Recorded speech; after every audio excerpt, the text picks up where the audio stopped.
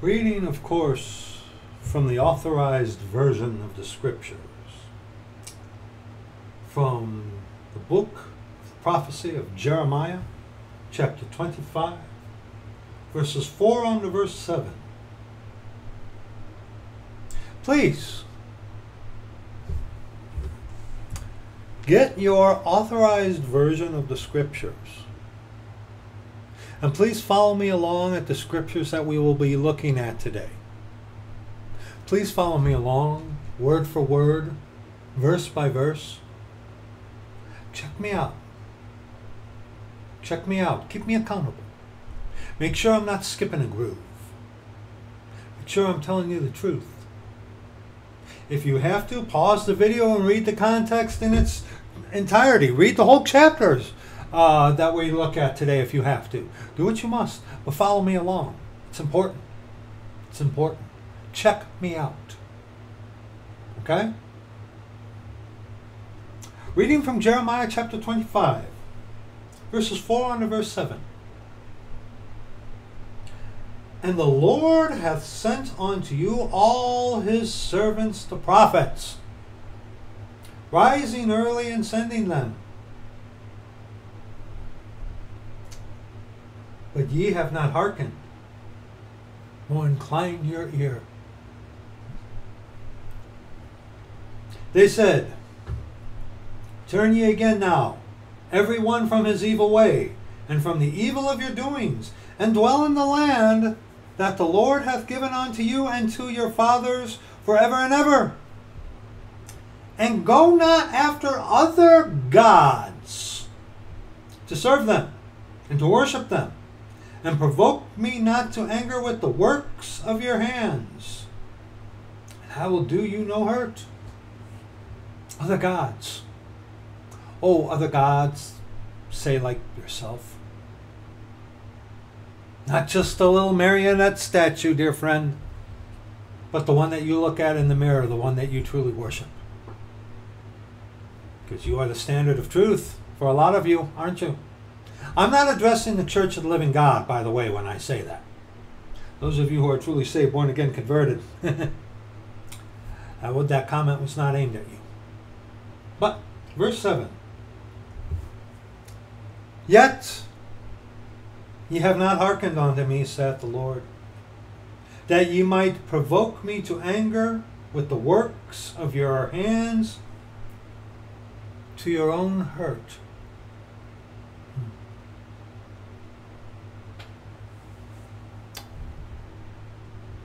If you've had any dealings with Christians, I'm not a Christian, by the way. I'm of the Church of God or the Church of the Living God. You might see older videos from, wow, four years ago, where I referred to myself as a Christian. And you might see older videos where I refer to the scriptures as a Bible. But I don't anymore. And actually, I oppose such. Why? Why?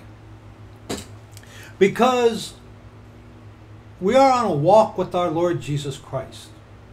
And every day you ought to learn something new of our Lord Jesus Christ, God our Father, through His Word, the authorized version of the Scriptures. And a while ago, the Lord Jesus Christ, through His Word, convicted me mightily about having what we say line up with the scriptures as close as possibly that we are able to do so.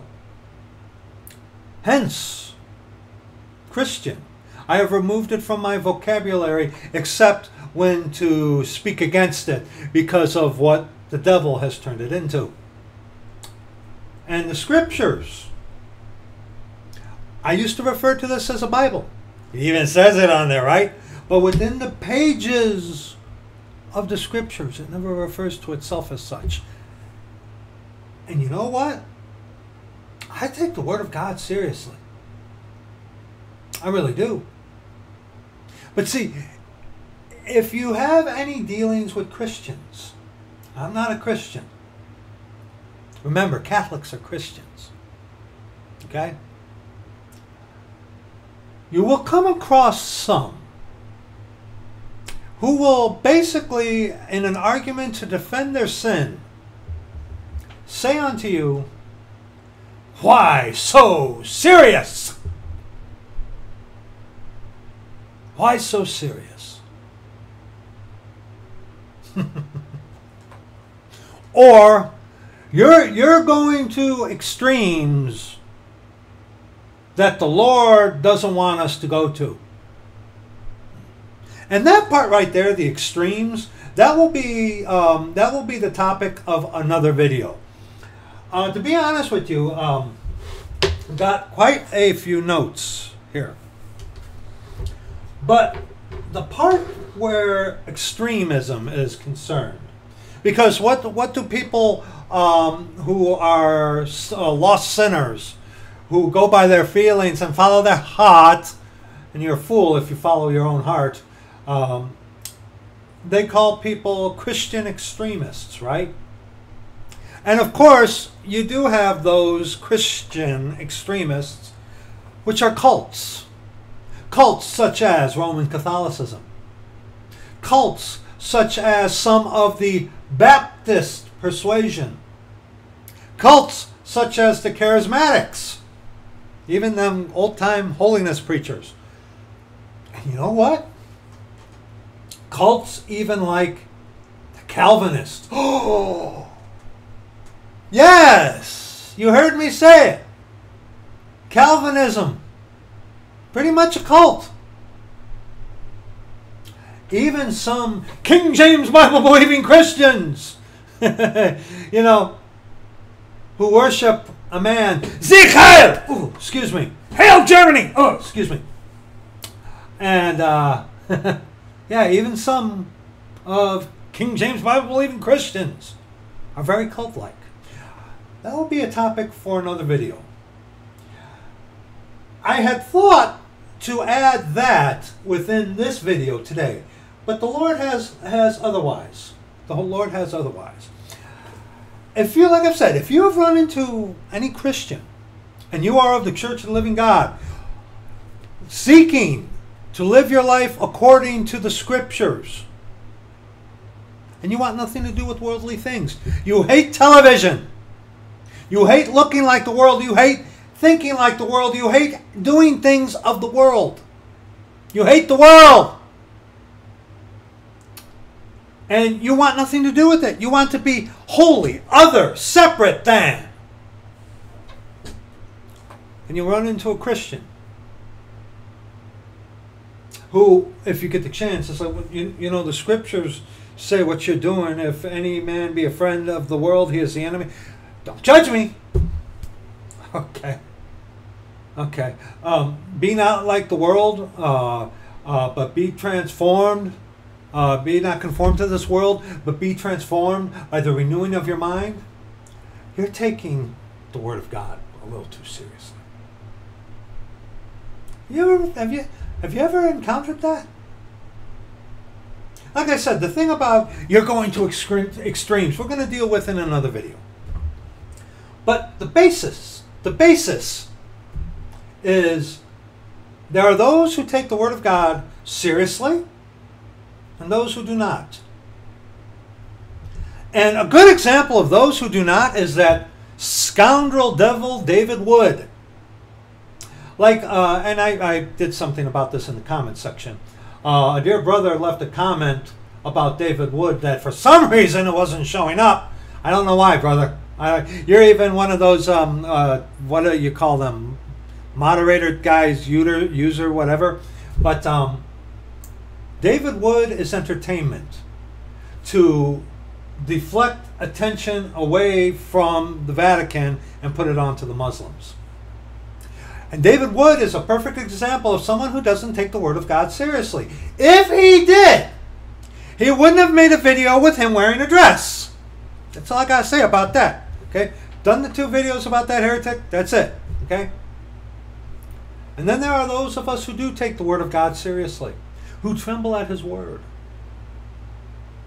And see, Christians, Christians, who, when they go to church buildings, Nowadays, they don't even they don't even take a Bible with them, but just sit there and expect to be fed by a Jesuit trained cemeterian. And then when you speak to a Christian about the scriptures, what do you generally run into? What do you generally run into? Don't judge me. You're being too extreme. Oh, don't, don't take it too seriously. You're taking it way too seriously. Or, or what else happens is uh, um, they try to turn the tables on you. And like I mentioned in the previous video, I think, it's amazing how Christians who are not taught to rightly divide the word of truth, in order to defend their sin, they'll suddenly become dispensational. Perfect example tattoos. You're not supposed to print any marks upon you, nor print any marks upon you. Okay? Different direction within the same sentence. You shall make no cuttings in your flesh for the dead, nor print any marks upon you. Okay? Not supposed to get tattoos. And what do some Christians who are not taught to rightly divide the word of truth, what will they do? Well, that was the Old Testament. Oh, so you rightly divide the word of truth, huh? Oh, good. Good. Good. And this dispensation ends, and then it's going to be the time of Jacob's trouble. Well, it's faith and works. It's faith alone from Genesis down to Revelation. It's like, wait, wait, wait, wait, wait, wait, wait, wait, wait. You just said that tattoos were under the Old Testament. Yes, but it's faith alone. The gospel of Jesus Christ from Genesis on to Revelation. you see what I mean? Another one. God loves you. And God's not mad at you if you want to be a sodomite. Love is love. And I've seen that on billboards of church buildings today. Well, that's how it was under the Old Testament. Not today. Love is love. Really? Really? What about Paul, who uh, mentions about those who defile him, themselves with mankind? Okay. What about Romans chapter 1? Or, oh, no, excuse me. What is that? Uh, yeah, that's Romans chapter 1. Mm-hmm. Where Paul talks about men with men. And even the women using the natural use of man. Stuff like that. I just Brad eyes that. Yeah. Oh, no, but that's for the Old Testament. See, they become suddenly dispensational to suit their own agenda.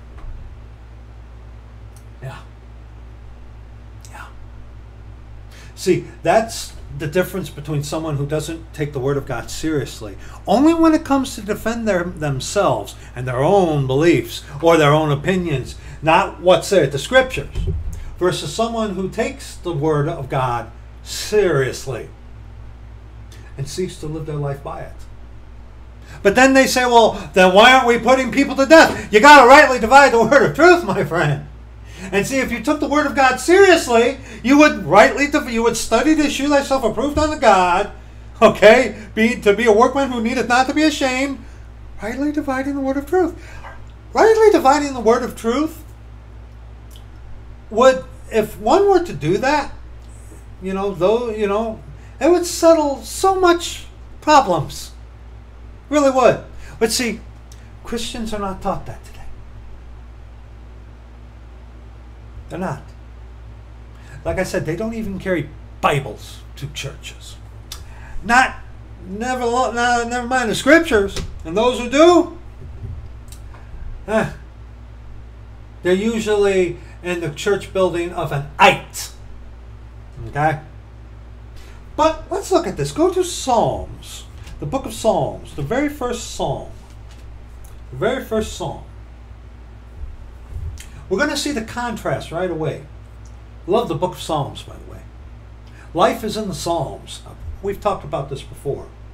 The very first psalm in the book of Psalms is very telling. Midway um, uh, in the psalm, Psalm, what is it, I believe 75, talks about someone uh, midway through their walk with the Lord, and then the last five Psalms in the book of Psalms say, Praise ye the Lord, how you are to go out praising the Lord. But, Psalm 1, I'm going to see this contrast here, okay? Blessed is the man that walketh not in the counsel of the ungodly, nor standeth in the way of sinners, nor sitteth in the seat of the scornful. So blessed is the man that is separate from that, who doesn't want anything to do with that. Okay? But his delight is in the law of the Lord, and in his law doth he meditate day and night. Now, Psalms were written under the dispensation of the law, which was faith and works. This is instruction in righteousness for us, okay? But where, where do you read about the law? In the scriptures. Okay? And he shall be like a tree planted by the rivers of water, and out of his belly shall come uh, uh, living waters, like our Lord Jesus Christ says in John chapter 4. Okay? And he shall be like a tree planted by the rivers of water, that bringeth forth his fruit in his season. His leaf also shall not wither, and whatsoever he doeth shall prosper. So, we see right away in the very beginning of the Psalms the life of someone of the Church of the Living God. I would say. What do you see right away? Admonition to not walk with ungodly people, to not be amongst them. Number two, to delight themselves in the law or for instruction in righteousness. Where do you find the law? In the scriptures. So, delight themselves in what God has said. Okay? And three, because they are separate from that and seek in the scriptures, they will be what? They shall be like a tree planted by the rivers of water that bringeth forth fruit in his season. His leaf also shall not wither, and whatsoever he doeth shall prosper. Psalm 19. Psalm 19, which is actually one of my wife's favorite psalms. Psalm 19.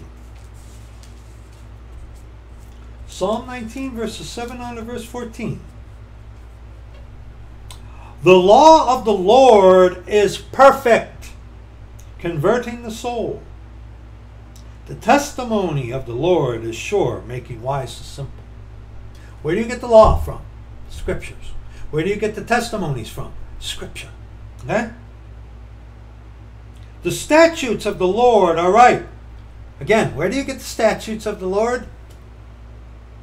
From a Jesuit run cemetery school? The statutes of the Lord are right, rejoicing the heart. The commandment of the Lord is pure, enlightening the eyes. Fear of the Lord is clean, enduring forever. How is it clean? Like it says in Job, something that you ought to have memorized. Job 28 28. And unto man he said, The fear of the Lord, that is wisdom. And to depart from evil is understanding.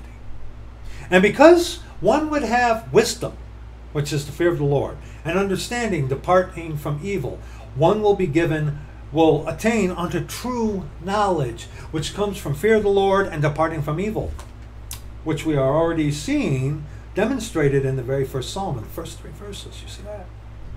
And that's because someone takes seriously what God has said. Okay? See, the Word of God is supposed to change you. You're not supposed to change the Word of God. Okay? But let's continue. The fear of the Lord is clean, enduring forever. The judgments of the Lord are true and righteous altogether. More to be desired are they than gold, yea, than much fine gold, sweeter also than the honey, sweeter also than honey and the honeycomb. Moreover, by them is thy servant warned, and in keeping of them is great reward. Fear the Lord, that is wisdom. And to depart from evil is understanding. Blessed is the man that walketh not in the uh, Psalm 1. Blessed is the man that walketh not in the counsel of the ungodly, nor standeth in the way of sinners, nor sitteth in the seat of the scornful.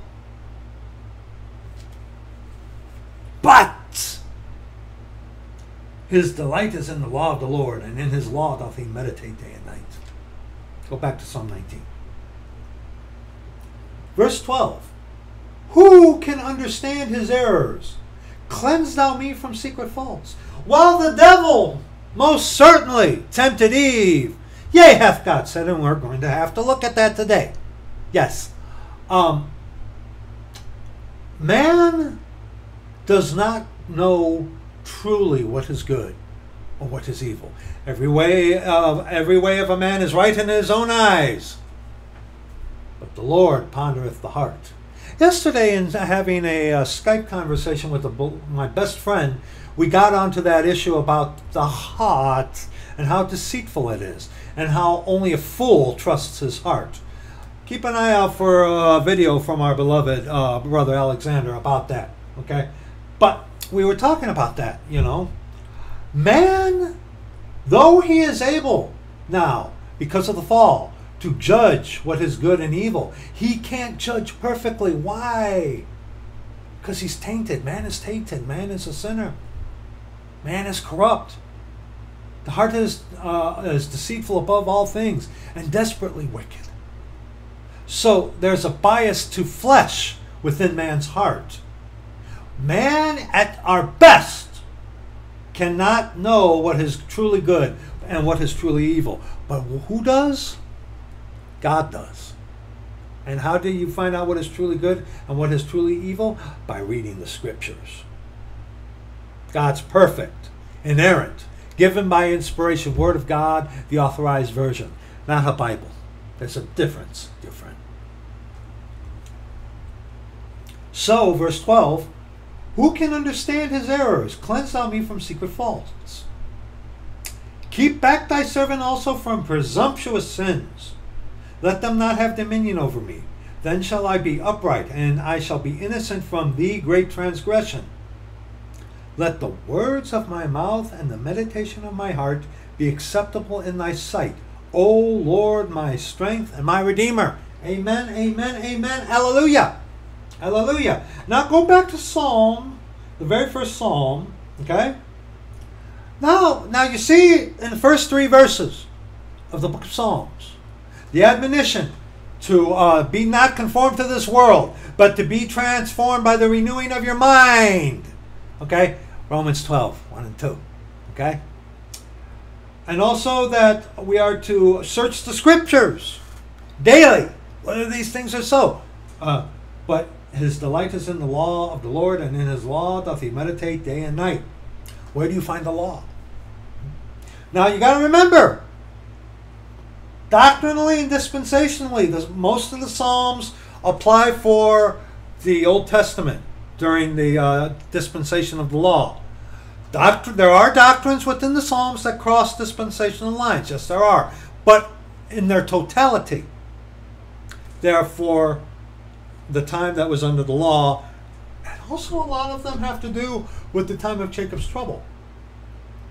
Okay? A lot of them do. But, so you, we keep that in mind. We're looking at this right now for our instruction in righteousness. Okay? You understand? Now, verses 4 on to verse 6. The contrast. The contrast. The ungodly are not so, right? Right there. Virtually every psalm has a point where the psalm twists not twists, but changes its focus and direction. Virtually every psalm. I say virtually because Psalm 1, uh, 117, two verses, there's not really a shift in there. But virtually all the psalms have a shift, at least one shift somewhere within them. Okay? That's the beauty that makes a psalm a psalm. Okay? Here's the shift in Psalm 1. The ungodly are not so, obviously. Because you begin with what? Blessed is the man that walketh not in the counsel of the ungodly. Separate than that. Verse 4. The ungodly are not so. Uh, uh, uh, Fanny Crosby could see this uh, change, this shift, okay? but are like the chaff which the wind driveth away. Therefore, the ungodly shall not stand in the judgment. Usually because they don't like judgment. Usually. Or the only judgment they have is against those who speak the truth. You want to get a Christian riled up at you? Start being a witness unto them of the truth of the scriptures. Oh, you'll see that pure, the love of God in their heart come right out at you. Yeah, the little g God of this world. Yeah.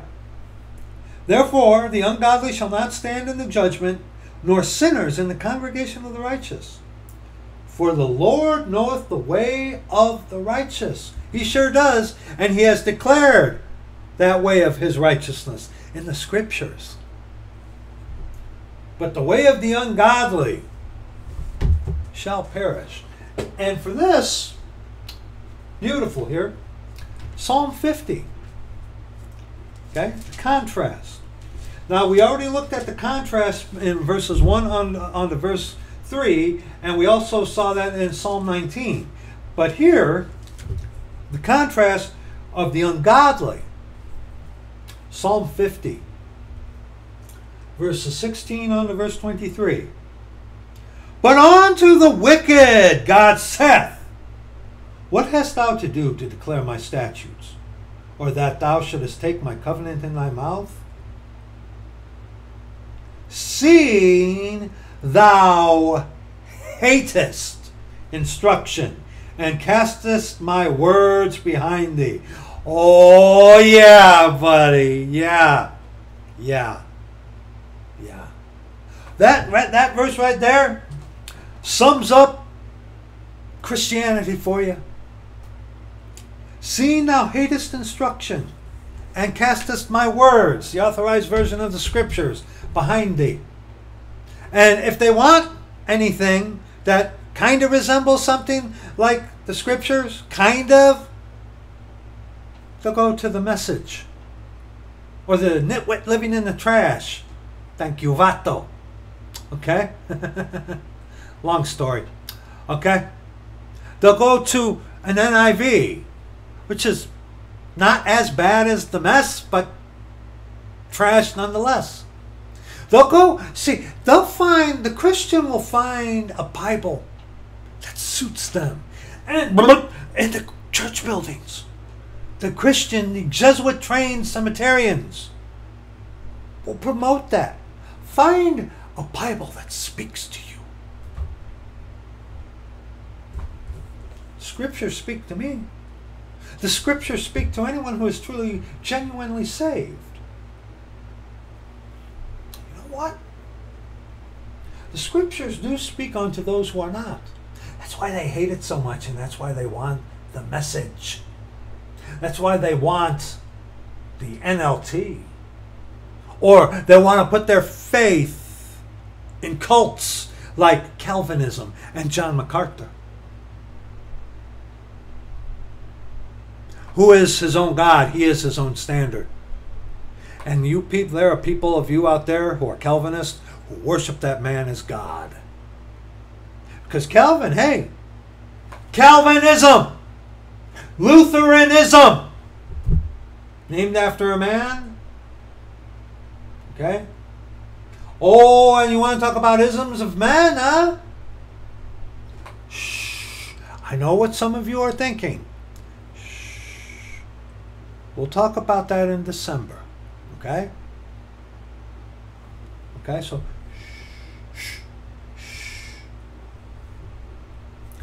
But yes, verse 17 describes Christianity. They hate instruction. They want to live by their feelings. Or if they want to hear anything, they go to a cult because they have trust in man, not in God.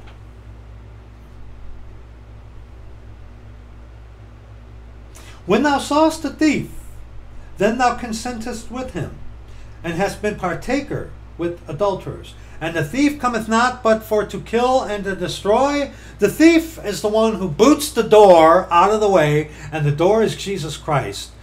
The thief comes and boots the door out of the way and then shouts through the crack. That is what a thief does. That is what a deceiver does. Okay? And the Christian, okay, when thou sawest the thief,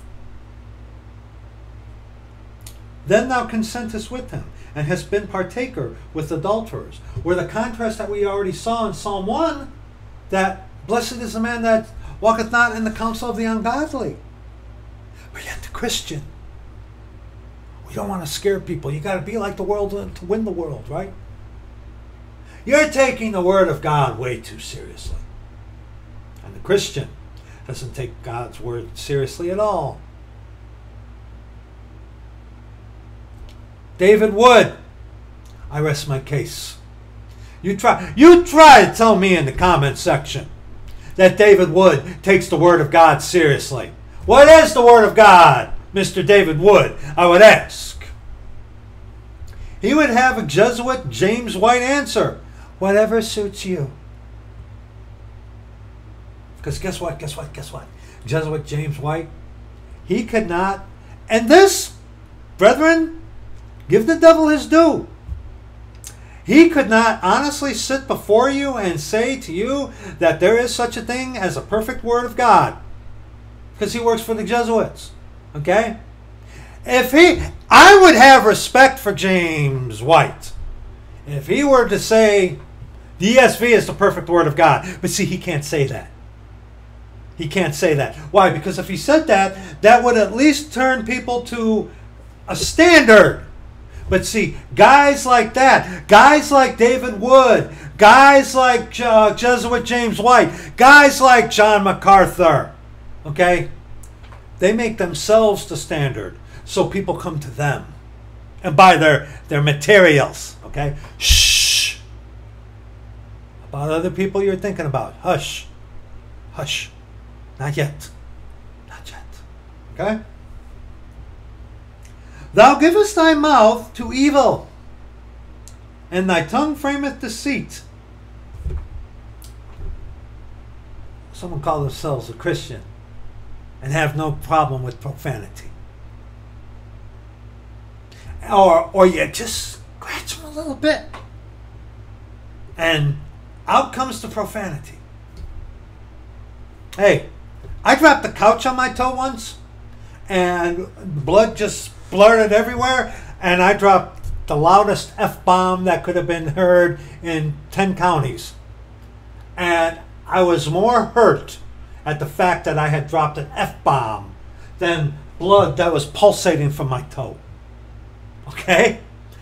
That happens. But see, someone who is of the Church of the Living God, truly saved, born again, converted, we're going to sin every day. And when you slip, it's like, whoo! oh Lord, I, I'm sorry. And then what happens when you want to go take a shower, don't you? You got to clean off that filth. Because that's what the world does. Met a Christian, you know, woman out there witnessing, and just casually dropping the S word, and even, um, you know, didn't really take the name of our Lord in vain but said the Lord's name kind of as an exclamation, and I jumped on that. You're a new creature, huh? Yeah. By the way, there's a big difference between being a new creature and having a changed life. So many people who are Christians have a changed life. They just changed the way they look but on the inside, they're still the same old, rotten person they were. They just look differently now. There's a difference between a new creature and a changed life. It's another thing that the Lord convicted me on. Because I hear so many uh, people, you know, well, you're going to have a changed life. You're going to have a changed life. Which stems first from being a new creature. That's important. Because you can change your life anytime you really want to, if you set your mind to it. But being a new creature that results in that changed life, and changed life? Find it for me, please. Oh, Brad, you're taking the Word of God too seriously. There's some of you out there who ain't taking the Word of God seriously enough. Oh, and then, and really quickly about this thing about going to extremes. Have you ever read Isaiah chapter 53 before? Have you ever read that? Huh? Have you ever read Isaiah chapter 53? You know, like I told uh, my best friend, you know, the next time someone, oh, you're going to extremes that God doesn't want you want us to go to. After you get over the dumbfoundedness of that statement, simply say, well, then I guess our God who died on the cross in Isaiah 53, that was a pretty extreme act, wouldn't you say? So a God who went to that extreme for us, does that make does that mean that we shouldn't be that extreme in loving him for what he did for us?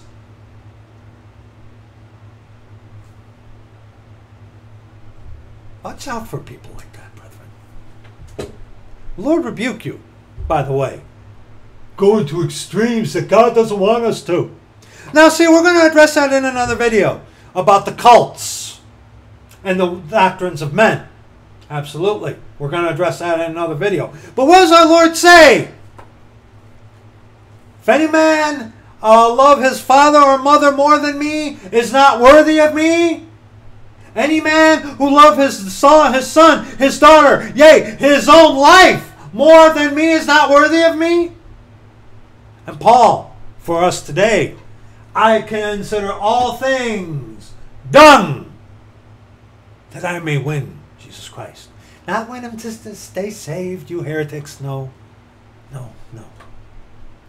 But that Christ be first in everything in our lives. But that's too extreme.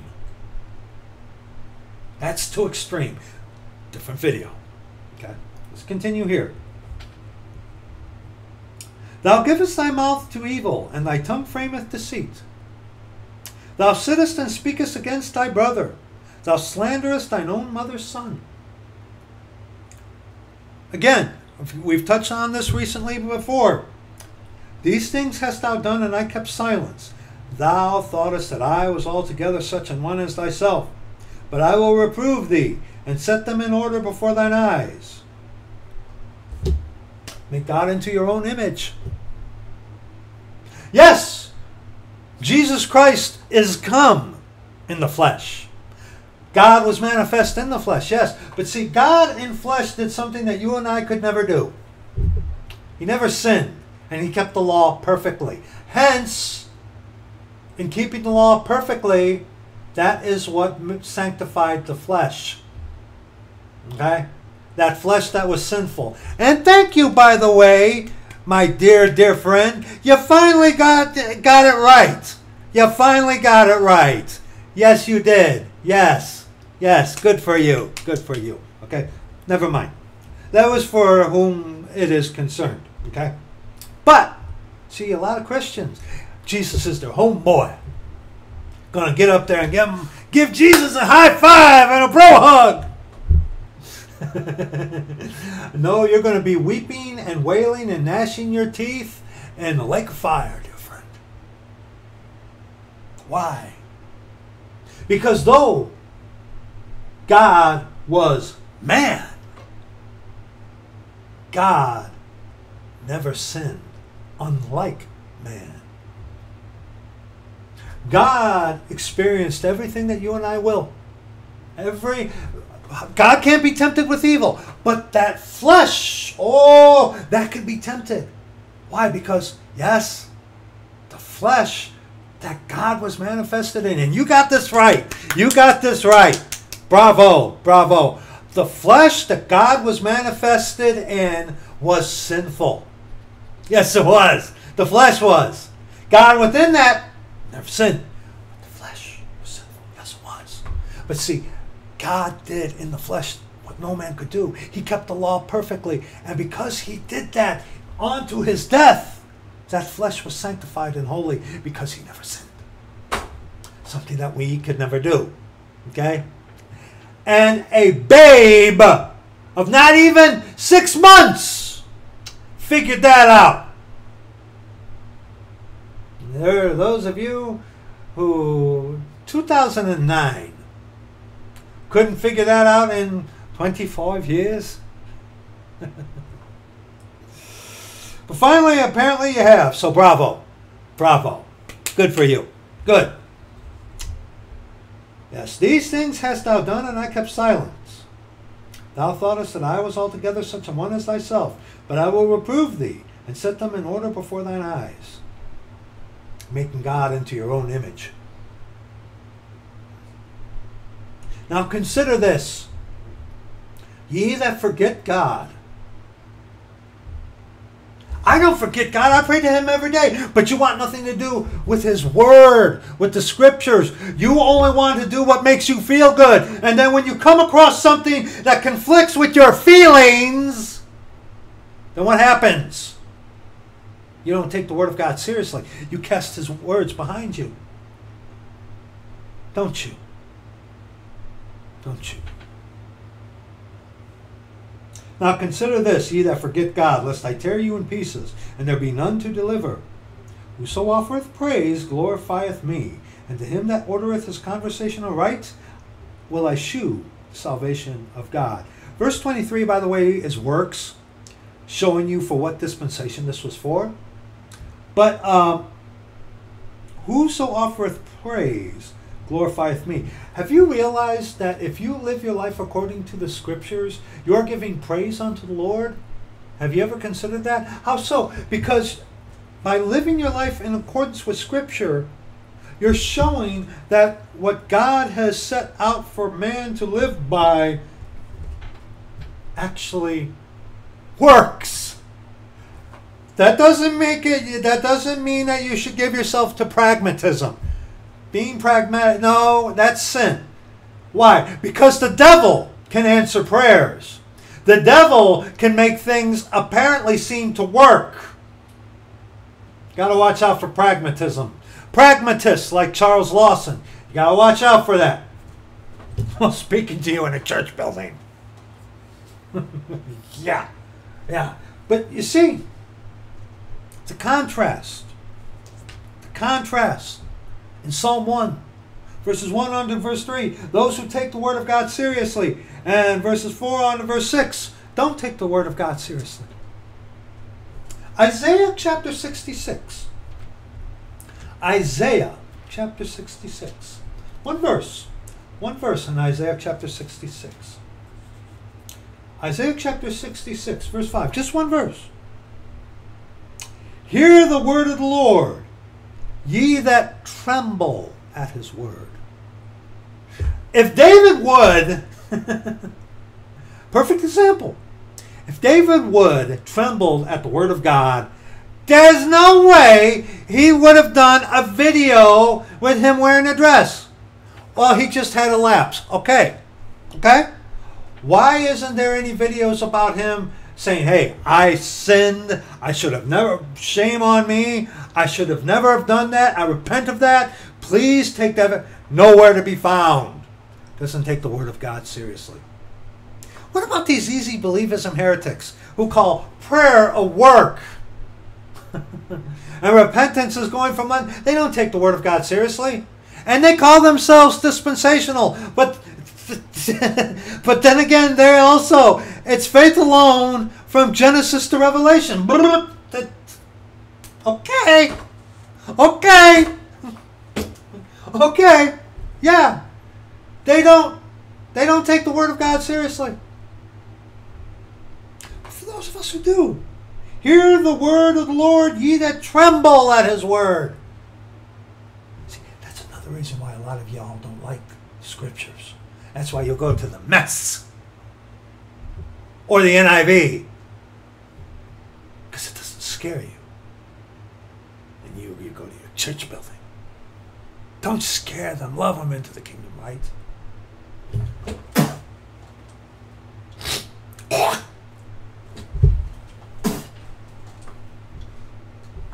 Give me a break, man. Hear the word of the Lord, ye that tremble at his word. Your brethren that hated you, that cast you out for my name's sake, said, Let the Lord be glorified. But he shall appear to your joy. They shall be ashamed. Now, when it says brethren there in this context, it's talking about those uh, who are relation. You read the context from uh, you. Please, like at the beginning, I said, "Hey, this would be a good time for you right now. Pause this video, pause it, and read the entirety of Isaiah 66. Okay? And you'll see when brethren here in context is talking about relational brethren, not one who are of the same God. Okay? You'll see that in context. Okay? But, here and besides, hear the word of the Lord, ye that tremble at his word. Distinction. Your brethren that hated you, that cast you out for my name's sake, said, Let the Lord be glorified. They thought they were serving the true God, but they aren't. The Christians of today, they're not our brethren. Okay?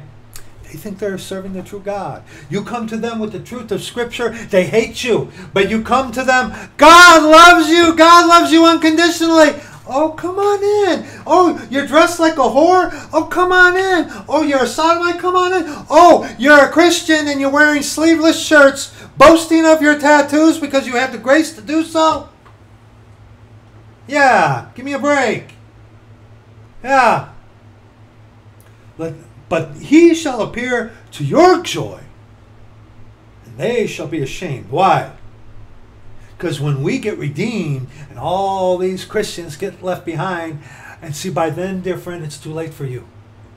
You're going to be going into the time of Jacob's trouble, which is faith and works. You, y- y'all talk about living it. Okay? Gotta live it. We should strive to live it today, absolutely. But if you've ever read Romans chapter 7, you know how hard that really is to do. You always seem to miss the mark. Two steps forward, or uh, one step forward, two steps back, right? Right? But during the time Jacob's trouble, boy.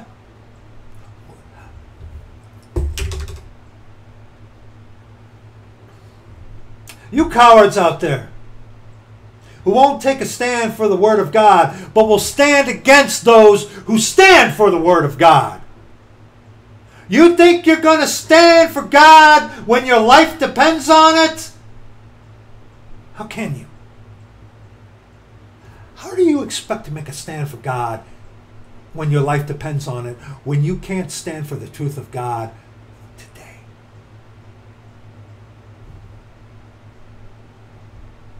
Well, you think all of a sudden you're going to have the uh, machismo to do so? When you won't do it for today, but yet for today you will go against those who preach the truth of God's word from the authorized version of the scriptures. They, them you will oppose. But making a stand for the true God of the true scriptures? No, you'll stand for the little g God of this world. God loves everybody unconditionally, even those who reject the gospel and reject the true Lord Jesus Christ, God our Father.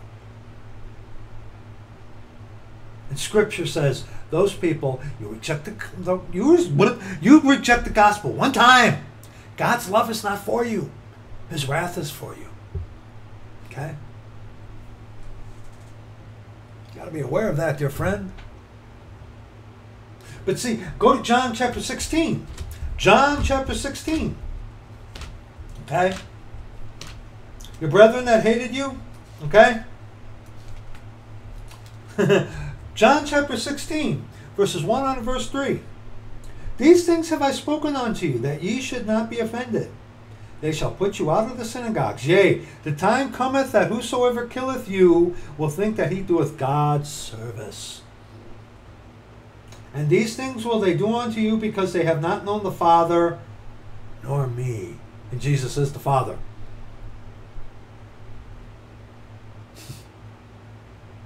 These things will they do unto you because they don't know who God is. One God who is made of a spirit, a soul, and a body. You and I are, are made in the image of God. How? We have a spirit, we have a soul, we have a body. Okay? Not three persons that make one God. Like that buffoon David Wood made that horrendous video 1 plus 1 plus 1 equals 1. While the Muslims and the atheists mock the Trinity, and rightfully so. And rightfully so. Okay? Now, this will be fulfilled more so during the time of Jacob's trouble. John chapter 16, verses 1 through 3. But today, oh, these Christians, they think they're doing God's service when they come against the uh, legalist people who believe in the authorized version of the scriptures and seek to live their life by example according to it. They don't take the word of God seriously. 2 Corinthians chapter 3. 2 Corinthians chapter 3. 2 Corinthians chapter 3, verses 6 on to verse 8. And see, one are the arguments that people who don't take the word of God seriously, what what is one of their arguments about? And this is something that these those devils, uh, uh, Bible is mark of beast. This is one of their one of their big arguments. Uh, 2 Corinthians chapter 3, verses 6 on verse 8. Who also hath made us able ministers of the New Testament, not of the letter, but of the Spirit. For the letter killeth, but the Spirit giveth life. See, now right away, they say the letter, so the Scriptures. He's talking about against the Scriptures. Let's keep reading to verse 8. But if the ministration of death written and engraven in stones was glorious, so that the children of Israel could not steadfastly behold the face of Moses for the glory of his countenance, which glory was to be done away, how shall not the ministration of the Spirit be rather glorious?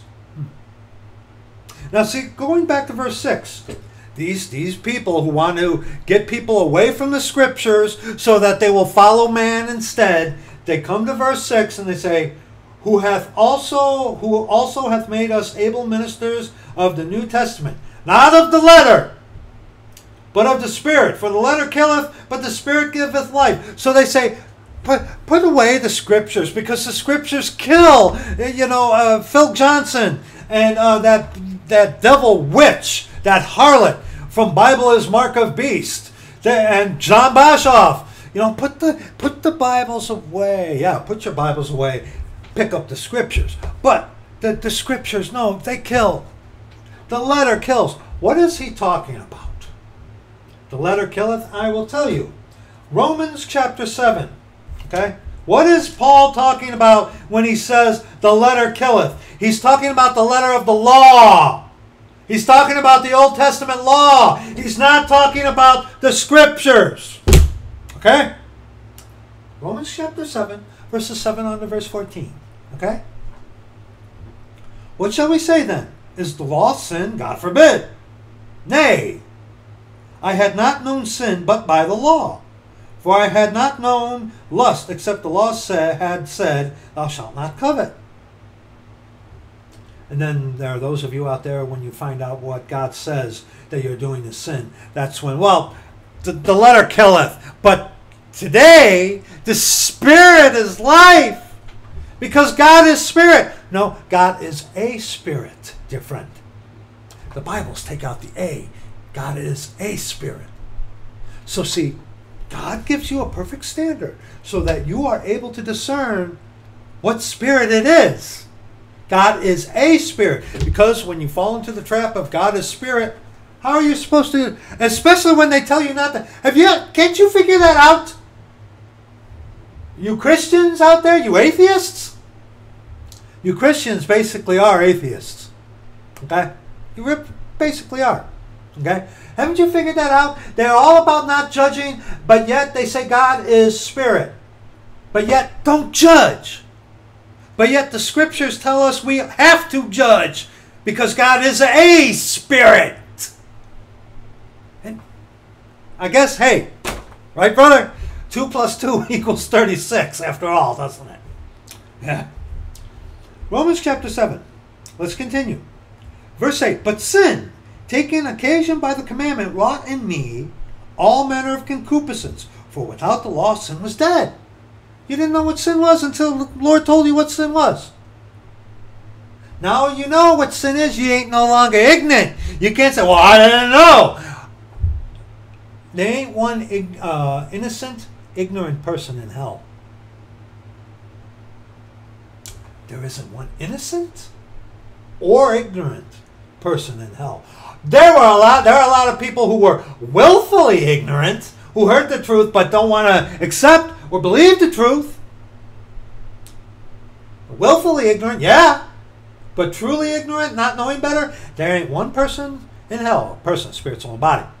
Uh, there ain't one in hell who uh, is ignorant or innocent.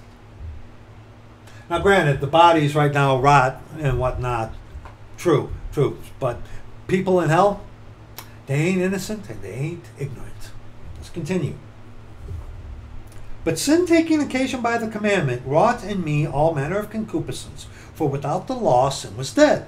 For I was alive without the law once, but when the commandment came, sin revived and I died. Yeah, because you didn't know what it sin that it was sin, and then you came, uh, found out that it was sin. It's like, what I'm doing, God hates and is against and calls it sin. What do you do with that? And the commandment, which was ordained to life, I found to be unto death. Well, that's a contradiction, isn't it? No, it's not. It's ordained unto life. How? To keep you away from sin. Okay? It keeps you away from sin. But see, it's found unto death because number one, it kills your pride, and number two, it kills you in the fact that you quickly realize that, hey, I can't live it 24 hours a day, seven days a week. Nobody could. Nobody can. Only one could. And that was Jesus Christ is come in the flesh. Okay? God manifest in the flesh. He was the only one. He is the only one who can keep the commandments perfectly without, without ever sinning. Okay? All right? That's what made him a perfect sacrifice. He never sinned. Hence, because he never did anything to, to defile his flesh. Not once. Okay? Not once. Not even an evil thought. Okay? Hence, because God did what no man could do, that alone is what sanctified his sinful flesh. You get it? Like I said, a babe of not even six months old figured that one out. Okay, but let's continue. So, the law, the commandment, was ordained to life to keep you from those things that God says is sin. But it's death because number one, it kills your pride. I, I can't it kills your. I, I want that, you can't have it. I want that, you can't have it. And two, it kills you in the fact that I can't do this 24 hours a day, seven days a week. It's impossible. Only God could do it. For sin, taking occasion by the commandment, deceived me, and by it slew me. How did sin take an occasion by the commandment? Like uh, the temptation in the Garden of Eden. Look at those, look at those, look at that fruit on that tree. Doesn't that look good? Doesn't it look beautiful? Look, look at that married woman over there. Oh, then she got eye for you, boy. You're a married man. But that, what your wife don't know ain't gonna hurt her. Definitely ain't gonna hurt you. Doesn't that, doesn't she look so beautiful over there, man? Oh, look at that woman. Look at how she looks dressed like a harlot. All fine, right? Sin is made to look good, isn't it? The devil does that quite well. For sin taking occasion by the commandment deceived me, and by it slew me. Wherefore the law is holy, and the commandment holy, and just and good. God's perfect requirements under the law. Hey, you wanna you wanna make me happy? Keep my commandments. guess what? You can't keep them perfectly. You need God. And only God could do what he could. Only God could keep the commandments perfectly. Jesus Christ did. Okay? Was then that which is good made death unto me? God forbid. Because he just called and said it was good and holy, because that was God's perfect uh, commandments to make to be right with him in that dispensation. But Paul here, and we, we we've done a whole video on Romans seven. Paul realizes it's like even at my best state, I'm vanity. I can't do it. Was then that which is good made death unto me? God forbid. But sin, that it might appear sin, working death in me by that which is good, that sin by the commandment might become exceeding sinful. For we know that the law is spiritual, but I am carnal, carnal, carne, fleshly, sold under sin.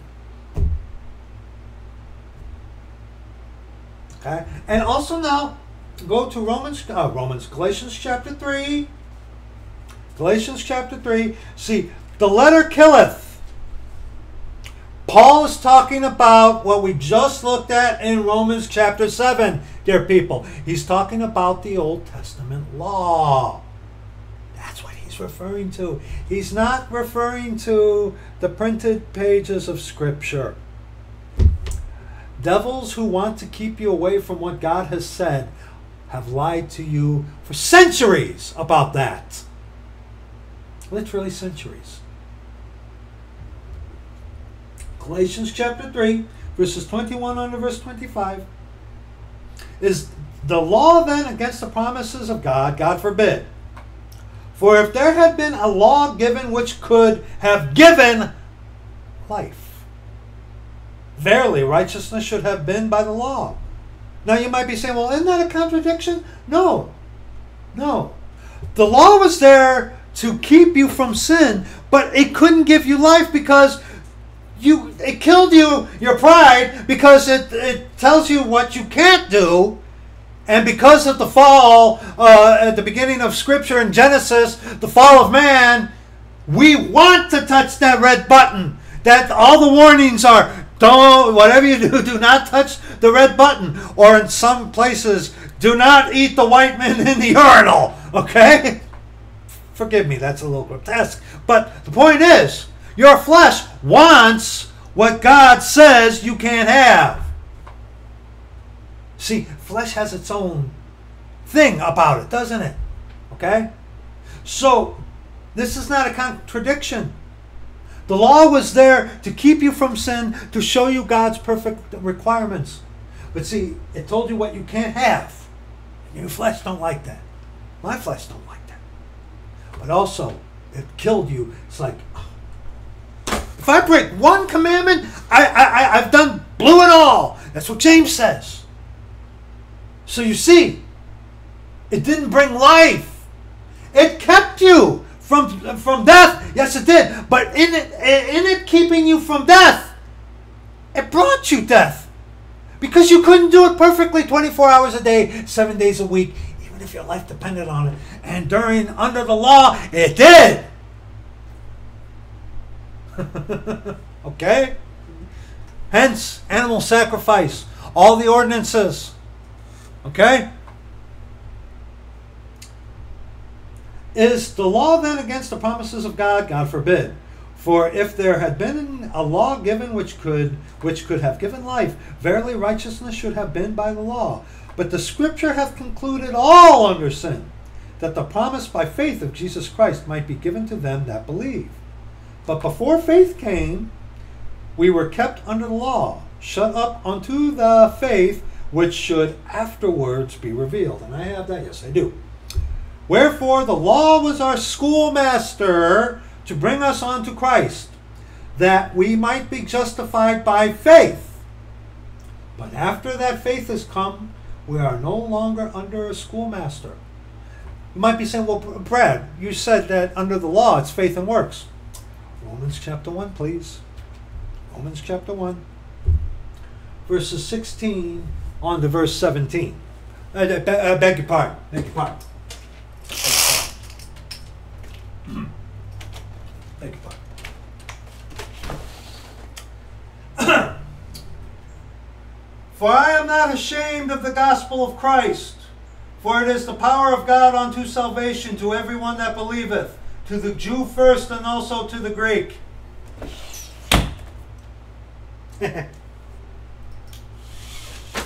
Beg your pardon. I kind of had to say that publicly. Excuse me. Now, verse 17. For therein is the righteousness of God revealed from faith to faith. As it is written, the just shall live by faith. Faith to faith.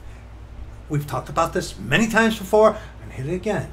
Faith to faith. Faith in what God will do under the law in the Old Testament. To faith, what God has done, it is finished. Okay? From faith to faith. Okay? That's what that means. So, dear friend, so dear friend, when you read in Second Corinthians chapter 3, verse 6, okay? See, this is one of the tricks that the devil have deceived so many of you Christians over because you don't want to take the word of God seriously. You say, uh, 2 Corinthians chapter 3, verse 6, who also hath made us able ministers of the New Testament, not of the letter, but of the Spirit. For the letter killeth, but the Spirit giveth life. They come to this and say, well, the letter, the printed, printed letter of Scripture, that kills. No, he's talking about the law. And the Spirit is life. What Spirit? God is a Spirit. But no, you Christians, God is Spirit. So you can't decide which one is which because you can't judge because judges, judging is a sin according to you Christians, and you don't have a perfect standard. John MacArthur is your standard or some nonsense like that. This all happens because you don't want to take what God said seriously. And we are told in Scripture, you know, Romans chapter 15, very familiar verses. Very familiar verses. Okay? Romans chapter 15. We, we can't talk about this enough. We can't talk about this enough. Romans chapter 15, verse 4. Whatsoever things were written aforetime were written for our learning, that we through patience and comfort of the Scriptures might have hope. So Paul was uplifting, telling people to search the, Acts chapter 17, which that idiot David Wood named his channel after, yeah, uh, being a good Berean and searching these scriptures daily, whether these things are so. And that guy hardly ever uses a Bible even in his videos. Never uses the scriptures, but the Bible, not, not even a Bible. Yeah, but you trust him. Yeah, right.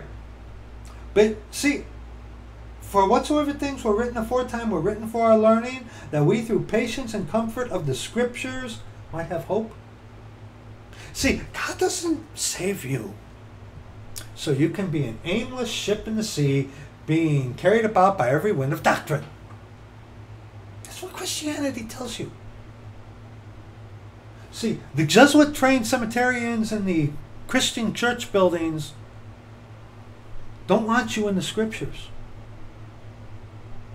No, they want you to pay attention to them so that they can guide you by the winds that blow from the Vatican. See how that works? Hey, you're watching me, whoever you are. You're not saved, you're a Christian, you're offended. Here, get the authorized version of the scriptures. Here, read the scriptures. The scriptures.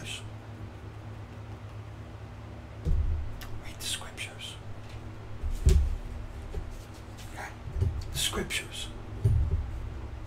And also now go to 2 Timothy chapter 3. Of course, we have to go there. 2 Timothy chapter 3.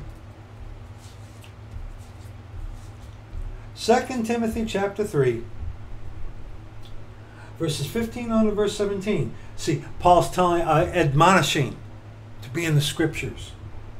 And that from a child thou hast known the holy scriptures, which are able to make thee wise unto salvation through faith which is in Christ Jesus all scripture is given by inspiration of God and is profitable for doctrine, for reproof and correction, for correction, for instruction in righteousness, that the man of God may be perfect, thoroughly furnished unto all good works. And the scriptures he's talking about was the Old Testament too, by the way, because at this time, yes, the completed canon of scripture wasn't available yet. But even so, we have it today, and we are to follow and take what God says very seriously, dear friend. Okay? And see, go to Romans chapter 10 now. And see, the people who are in the cemetery schools today, okay? What, what, what was that? Beg your pardon, brethren. The people who are in the cemetery schools today. One second, please. See, the preachers that are in this, uh, the church buildings that are coming from Jesuit trained cemetery schools, they're not rightly dividing the word of truth. They're not preaching from the authorized version of the scriptures. And they are guiding people into hell, guiding people away from the true God of the scriptures. While someone who takes the word of God seriously,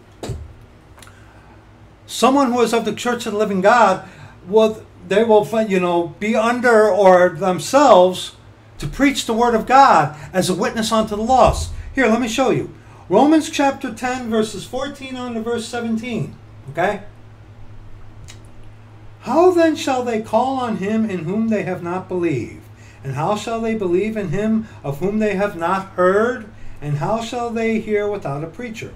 Now, granted, not everyone is a preacher, but we are ambassadors for Christ, having the ministry of reconciliation and the word of reconciliation. We are ambassadors for Christ. And, you know, you can have a moment to preach to someone. Being a preacher is not always someone that stands behind a pulpit, sits behind a, a desk at a computer. That is not always the measure of a preacher. That is what we always intuit as a preacher. You can be out there on the street preaching to people uh, and without a pulpit or without any of this and still be a, considered a preacher. Okay? All right?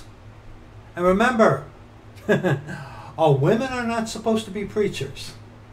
Just remember that. Just remember that.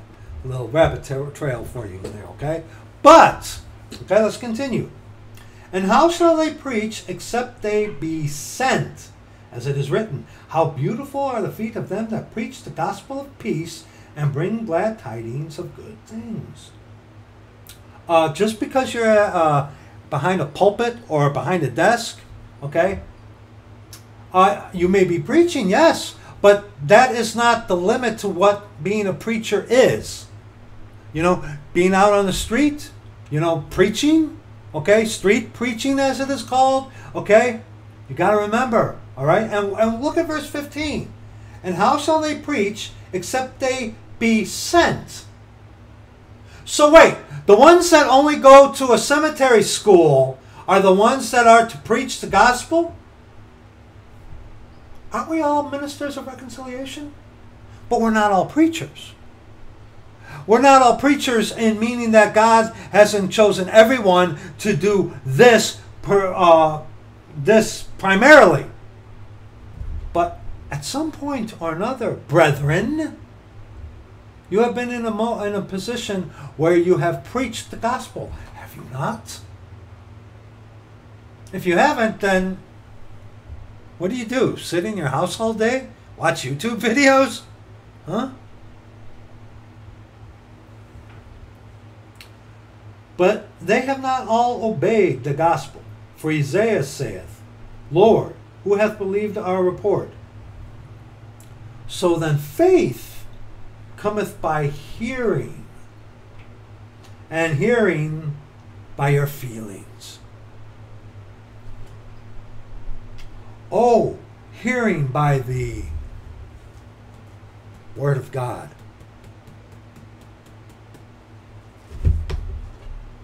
See, verses 14 on to verse 17 is there addressing for those whom the Lord sends out to preach his word. Now, not everybody is called to the to the position of a preacher, okay? like the Lord has put me in this position. This is what I do. This is how I give back to the Lord for what He has given me. This is what I do. Okay? This is what He has called me to. Okay? There are others who have been called to this. Okay? Okay? And that's legitimate. Not everybody has been called to this. But at some point in your walk with the Lord, whether it's at the grocery store, in the parking lot, or just passing by, you have been given the opportunity to preach. And you right away you think a preach preaching is someone doing this, a sermon. That's not always preaching. Look at verse 15. And how shall they preach except they be sent? As it is written, How beautiful are the feet of them that preach the gospel of peace, the death, burial, and resurrection of our Lord Jesus Christ, the gospel of peace. Okay? And bring glad tidings of good things. That the blood of Jesus Christ cleanseth away all sins. Okay? So then faith cometh by hearing, and hearing by the word of God. And of course, John 17, 17, sanctify them through thy truth. Thy word is truth. What is his word? What is his word? Oh, eh, eh, it's found somewhere in that mess of Bibles. No, no, what is his word? The authorized version of the scriptures. And on that, Ephesians chapter 6, verses 10 on to verse 19. Finally, my brethren, talking to saved people, be strong in the Lord and in the power of his might. Put on the whole armor of God. The whole armor. Don't just put on the the shoes and the, the breastplate. Put on the whole armor. Okay? Put on the whole armor of God. Why? That ye may be able to stand against the wiles of the devil. All the attacks that you get, the threats, the links to pornography, but praise the Lord that has that has ceased. Because I really don't want to make a video exposing people for doing that. But, for we wrestle not against flesh and blood, but against principalities, against powers, against the rulers of the darkness of this world, against spiritual wickedness in high places. That's talking about Satan, how he is the little g god of this world and he is in control of all those in the upper echelons, the head of the pyramid. Okay? All right? Wherefore, take unto you the whole armor of God, that ye may be able to withstand in the evil day, and having done all to stand. And so many are not prepared, not wearing the whole armor of God. Stand therefore, having your loins girt about with truth. It begins with truth. What is truth? What is truth, right? That's what Pilate asked. While speaking the truth personified in Jesus Christ. What is truth? That's your truth, not my truth. Uh, sanctify them through thy truth. The word is truth. Well, that's truth to you, not to me. You're lost. okay? You're lost. You, you, you don't even have a sure word of prophecy in the Bibles. Give me a break. Okay? Stand therefore having your loins girt about with truth, and having on the breastplate which covers your heart of righteousness, and your feet shod with the preparation of the gospel of peace. Remember what we just looked at in Romans? Uh, about those who are sent, having your feet shod, being uh, being instant in season, out of season. Be ready. That's why I always tell you, always. I don't care if you're going out to get the, the mail, putting garbage out in the garbage dump. I don't care if you're just going outside for a moment. Take a sword with you. Take the scriptures with you. The Lord is my witness. Whenever my body, whenever I go out that door, I don't care if it's just going out to walk Xena or to get the mail or whatever I do. Whenever I leave that door, I always, I have a little pocket Cambridge. Always put, always take the sword with me. Because I'll tell you, brother, one time, and this has only happened once, but one time that I went out without a sword, and the Lord orchestrated something, and I blew it because I didn't have the sword on me. I've never forgotten that. I've never forgotten that. Lord willing, that will never happen again, and thus far, knock on wood, it hasn't. I spare you that. Because that's the type of failure that I would want to spare anyone. Knowing that if only you had the sword of the Spirit, well, I don't know where to find. Uh, if the Lord Jesus Christ is in you, God our Father, the Lord is that Spirit, He'll guide you into all truth. He orchestrates a moment for you out there, and you got the sword of the Spirit, He'll guide you into all truth. Trust me when I tell you that.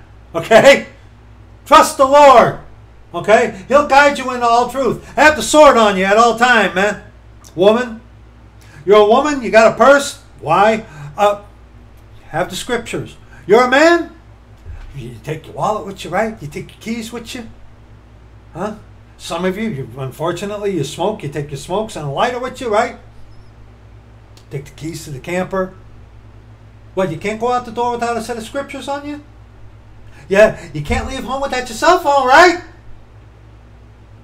What, you can't leave the, uh, the, your house, your front door without a set of scriptures on you, huh? I spare you. Knowing that you failed the Lord because of something simple that you didn't do. I'll tell you, if you go through that, you probably will never want to go through it again. Let's continue. And your feet shod with the preparation of the gospel of, gospel of peace, being instant in season, out of season. Above all, taking the shield of faith, wherewith ye shall be able to quench all the fiery darts of the devil. And you get the thing about the shield is, yeah, it protects everything, but every once in a while, you got to lower the shield so you can survey the battlefield, and then put the shield back up. Keep that in mind, okay? And take the helmet of salvation, which covers your head. The helmet of salvation, knowing that if you come to the Lord on His terms, broken, contrite, and in fear of Him, you call upon His name and He save you. You are sealed until the day of redemption. Once saved, always saved. You can make a mess out of your life. You can blow it for, uh, supremely. You are sealed. You are saved. You're going to heaven no matter what. So that helmet, be confident. When you got some putts saying, "Are you, you know, questioning you whether or not you are truly saved?" Okay when you are one of the Church of the Living God, adhering to the authorized version of the Scriptures, and then you got a Christian from a church building, oh, you're you're preaching division. You're preaching against God. Uh, yeah, amen. Being separate from that, amen. Oh, amen. You're right. I am preaching division. God is a God who divides sheep from goats. Amen. Amen. Amen. Amen. I am preaching division. Division from that. Amen. Amen. Okay? Amen. Amen. And take the helmet of salvation and the sword of the Spirit, which is the Word of God, sword of the Spirit, which is the Word of God. And then, and for me, that utterance. See, see how this ties in with Romans chapter ten. And for me, that utterance may be given unto me, that I may open my mouth boldly to make known the mystery of the gospel. Okay? But see what happens with the Jesuit trained cemeterians uh, in the church buildings, the Christians. We have a perfect standard. And we who are saved, born again, converted to the church of the living God, we take this word seriously. Okay? We take the word of God seriously. But see what the devil does, as he did from the very beginning. Genesis chapter 3, verses 1 and verse 5. Now the serpent, this is Satan, was more subtle than any beast of the field which the Lord God had made. And he said unto the woman, Yea, hath God said, Ye shall not eat of every tree of the garden? The very first thing that's recorded in Scripture for us in Genesis, the beginning, Satan, which is the serpent, okay, first thing he did was question what God said. What do Christians in the buildings do? Yea, hath God said. Some, hey, some of you Christians might go to a building where they read the authorized version of the Scripture, but yet their practices are not based off of the Scripture, but are based off of the things of Catholicism. They really are. Like I said, more on that in the video about extremes. Okay? But yeah, Catholics, they have their, their own traditions. Baptists, Charismatics, Calvinists, Lutherans, Zichel, okay? They have their own traditions. Yea, hath God said. Okay? And the woman said unto the serpent, We may eat of the fruit of the trees of the garden. But of the fruit of the tree which is in the midst of the garden, God has said, Ye shall not eat of, eat of it. And God never said this part, Neither shall ye touch it, lest ye die. Look right across to the page, and it says in verse 17 in Genesis chapter 2, we've been over this a myriad of times, we're going over it again. Deal with it.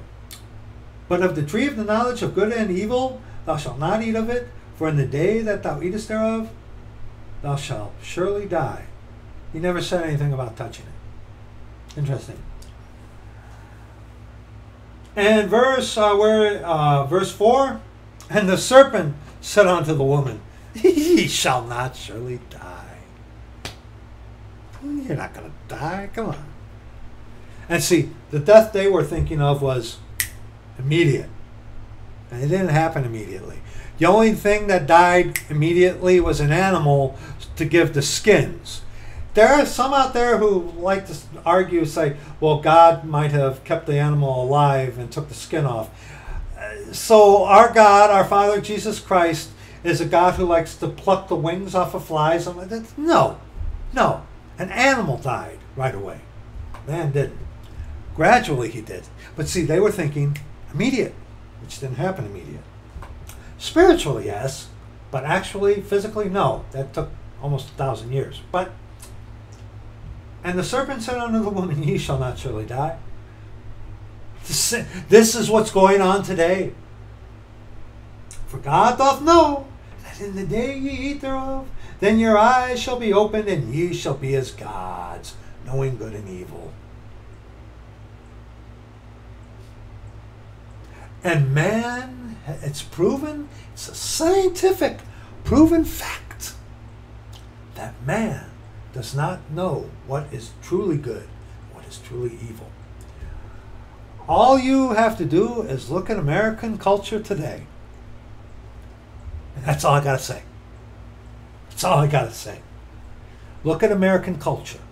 Look at America. Man does not know what is truly good and what is truly evil. We think we do because we make ourselves the measure of judgment. Hence, Satan's lie. You shall be as gods. Whatever makes you feel good. And let's read verse 6. And when the woman saw that the tree was good for food, oh, it looked so beautiful. And that it was pleasant to the eyes. Oh, oh, that'll fill me up. Oh, that looks so good. Just like all sin does. It'll fill you up. Oh, it looks so good. Yeah. And a tree that desired to make one wise. Oh, yeah, yeah, whatever you say here. Yeah, I, what, oh, that, that, I'll be wiser. Because I know what's good and evil. I, know it's good. I know when to quit. Well, it ain't going to hurt me, right? Oh, that looks so beautiful. She took of the fruit thereof and did eat, and gave also unto her husband with her, and he did eat. And here we are today. And here we are today. Yea, hath God said. And I'm going to touch this. Amos chapter 8. Amos chapter 8. Amos chapter 8, verses 11 on to verse 12. Now, hold on. Amos chapter 8, verses 11 on to verse 12. Behold, the days come, saith the Lord God, that I will send, that I will send. The Lord will send a famine in the land. Not a famine of bread, nor thirst for water, but of hearing the words of the Lord. And faith cometh by hearing, and hearing by the word of God. We already looked at that in Romans, right? Let's read. And they shall wander from sea to sea, and from the north even to the east. They shall run to and fro to seek the word of the Lord, and shall not find it. Now, this will be fulfilled in its entirety during the time of Jacob's trouble. Why? Why? I'll tell you why. Look at verse 11, where it says, Not a thirst for water, uh, not a famine of bread, nor thirst for water, but of hearing the word of the Lord. The words of the Lord, excuse me. Today, people are hearing the words of the Lord. Hearing them at least to aggravate them enough to attack you for it, or being cut to the heart where they, they close their ears and they gnash on you with your, uh, their teeth, or they're hearing the word of God and it pricks them in their heart and they say, Men and brethren, what shall we do? Why is that? Because the church of the living God is on earth today, the body of Christ. But see, what ends this dispensation is when the church of the living God, the body of Christ, gets redeemed. The redemption of the purchased possession, talked about in Ephesians. Caught up ridiculously, erroneously referred to as the pre tribulation Eh, rapture. Okay? It's the redemption of the purchased possession or the catching away of the body of Christ. Okay? God is omnipresent, God is omnipotent. During the time of Jacob's trouble, there will be 144,000 sealed Jews on the earth, which will preach what? The gospel of the coming kingdom, the coming kingdom of heaven. Okay? Also, the Lord will have two witnesses. Who, and you read about in the book of Revelation, uh, those two witnesses will be Moses and Elijah. Okay?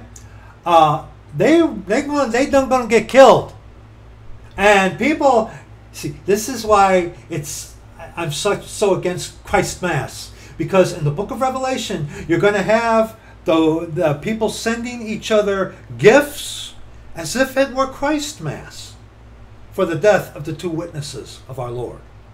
I'm not saying, I'm not saying, I'm just saying, I would not be surprised that the death of the two witnesses will fall on or around in the month of December. You Christians that get left behind, you, you watch. You watch. Christ Mass for that man of sin, the son of perdition? You watch. You Christians, you know, you know, God loves you, yeah. Follow being led by the Jesuits, yeah. You watch. You watch. Son of perdition? Oh, he gonna make big to do about Christ Mass. You watch. You watch. You watch. You'll see. You'll see. But see, once we are taken up, God's witness, his body is no longer on the earth. There will be those who will give testimony unto him. But see, today, in this dispensation, faith cometh by hearing, and hearing by the word of God. So when his body is gone from the earth, and his attention is turned to the Jews, hearing of the words of the Lord. Why? Because you got to remember during the time of Jacob's trouble, uh, midway through, the mark of the beast is going to be implemented. It's in the right hand or in the forehead. And if someone takes the mark of the beast during the time of Jacob's trouble, you are ipso facto, no questions, nothing. You're going to hell no matter what. You can't lop it off or gouge it out. Once you take it, you're done. And once someone takes that, they're going to be an enemy of God. They won't be able to hear it anyway. And some will say, well, the scriptures are not going to be available. Um, first couple of years that are going to be so chaotic because that man of sin, the son of perdition, is going to be going forth conquering and to conquer. Okay? Um, we don't know what he's going to try to do to the Word of God. The Word of God endures forever, the authorized version of the Scriptures. Okay? Uh, they, this says, verse 12, and they shall wander from sea to sea and from north, from the north even to the east. They shall run to and fro to seek the word of the Lord and shall not find it. That's pretty that's pretty dire. But we know that the word of the Lord endureth forever, though. That's talking about the panic that our Lord talks about in Matthew chapter 4 or 24 when they see the abomination of desolation standing in the temple, that man of sin, the son of perdition, saying, I'm God, and looking like the Roman Catholic Jesus. They're going to be like, uh, uh, where's it? Where, where, where we got it? Let's, let's bolt! Okay? But see, today, today, this has not been fulfilled today. Only in part. How? Yea, hath God said. Yea, hath God said. In the buildings, y'all ain't hearing from the scriptures. And if you are, you have a Jesuit trained cemeterian speaking to you. Because what? In a church building, what? You got to have the credentials. You got to have a $100,000 piece of paper to show that Jesuits say I'm, I'm licensed to do this. Nowadays, today, you got to get a health food uh, handler's license here in Illinois to flip a hamburger at McDonald's. You got to go get a license to flip a hamburger, boy. that's Illinois for you, Jack. Yeah, that's Illinois for you. Yeah, you literally have to go get a health food handler's license in order to flip a burger. Unless, of course, you're from another nation. But see, today, people aren't hearing the Word of God. You can readily find, I mean, you can still, you can still find the scriptures in most places, okay? You can still uh, get a copy of the scriptures. But once the, once the body of Christ be redeemed, and that man of sin be revealed, going forth conquering and to conquer, the word of God endureth forever. Yes, it does. But it's going to be very hard to find. Very hard to find. Very hard. The hope is for you, Christians who get left behind, who will still at that moment still have the scriptures and realize, oh boy, we're in trouble. That's when you have that chance to be, to redeem something of yourself. Because there's a great multitude that die right at the beginning of the time of Jacob's trouble. I believe it's going to be those who, you Christians, that get left behind and realize, Oh boy, because once the Church of the Living God get caught up, the Christians that are left behind because they're not saved, they're merely Christians, they're going to realize, some of them are going to be like, oh wow, we were never saved. Oh, oh, oh wow. What did what what did those crazy um, authorized version of the scripture believers say to us? Oh, oh wow. Oh, whoa. Who's that? That's that. Wow, hey guys, that's him. See how that's going to work? But see, that's going to be quick. That's going to be quick. The, the, Christian, other Christians who are in the back pocket of that man of sin already, uh, son of perdition, ain't going to be a bother. It's those of you who think you're saved and you're not. Not you deceivers who are going about causing trouble. You guys, you're whatever. But those of you poor people who think you're saved because you just believed, because you felt for the lives of these people. Okay? And see, people are not hearing the Word of God today. They're hearing from a Bible today. There's a big difference. Oh, there's a big difference. Okay? But see, in your little precious church building, okay? Jeremiah chapter 23 in your precious house of God, little church building, okay? Jeremiah 23, verses 1 on to verse 2. Woe be unto the pastors that destroy and scatter the sheep of my pasture, saith the Lord. This is exactly what devils like David Wood has done.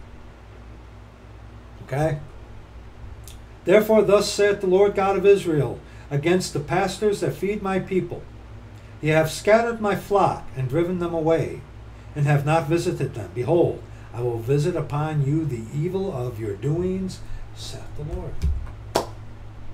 And that is exactly, dear friend, that's exactly what guys like David Wood has done. This is exactly what the Christians in the buildings are doing today.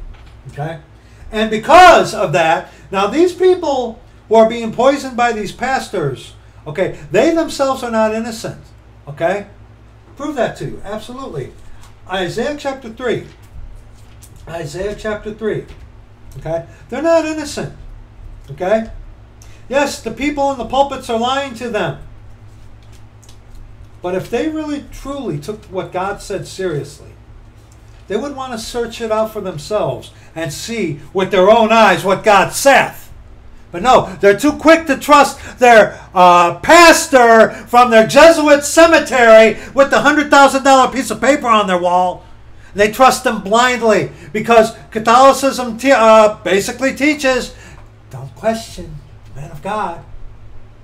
Because why? The man of God is another Christ. And the Baptist, the one guy, oh, don't question the man of God. The charismatics, don't question the man of God.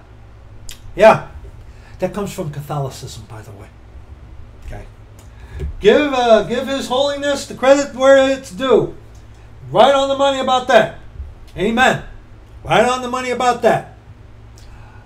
That stuff that the Baptists, the Charismatics, the Calvinists, like, don't question the man of God, that comes from Catholicism. He was right about that. Amen. Okay? Isaiah chapter 3, verses 9 on to verse 12. The shew of their countenance doth witness against them, and they declare their sin as Sodom. They hide it not. David Wood wearing a dress. I rest my case.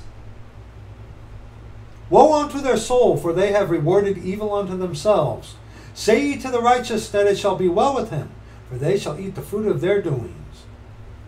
Woe unto the wicked, it shall be ill with him for the reward of his hands shall be given him. Amen. And let's read verse 12.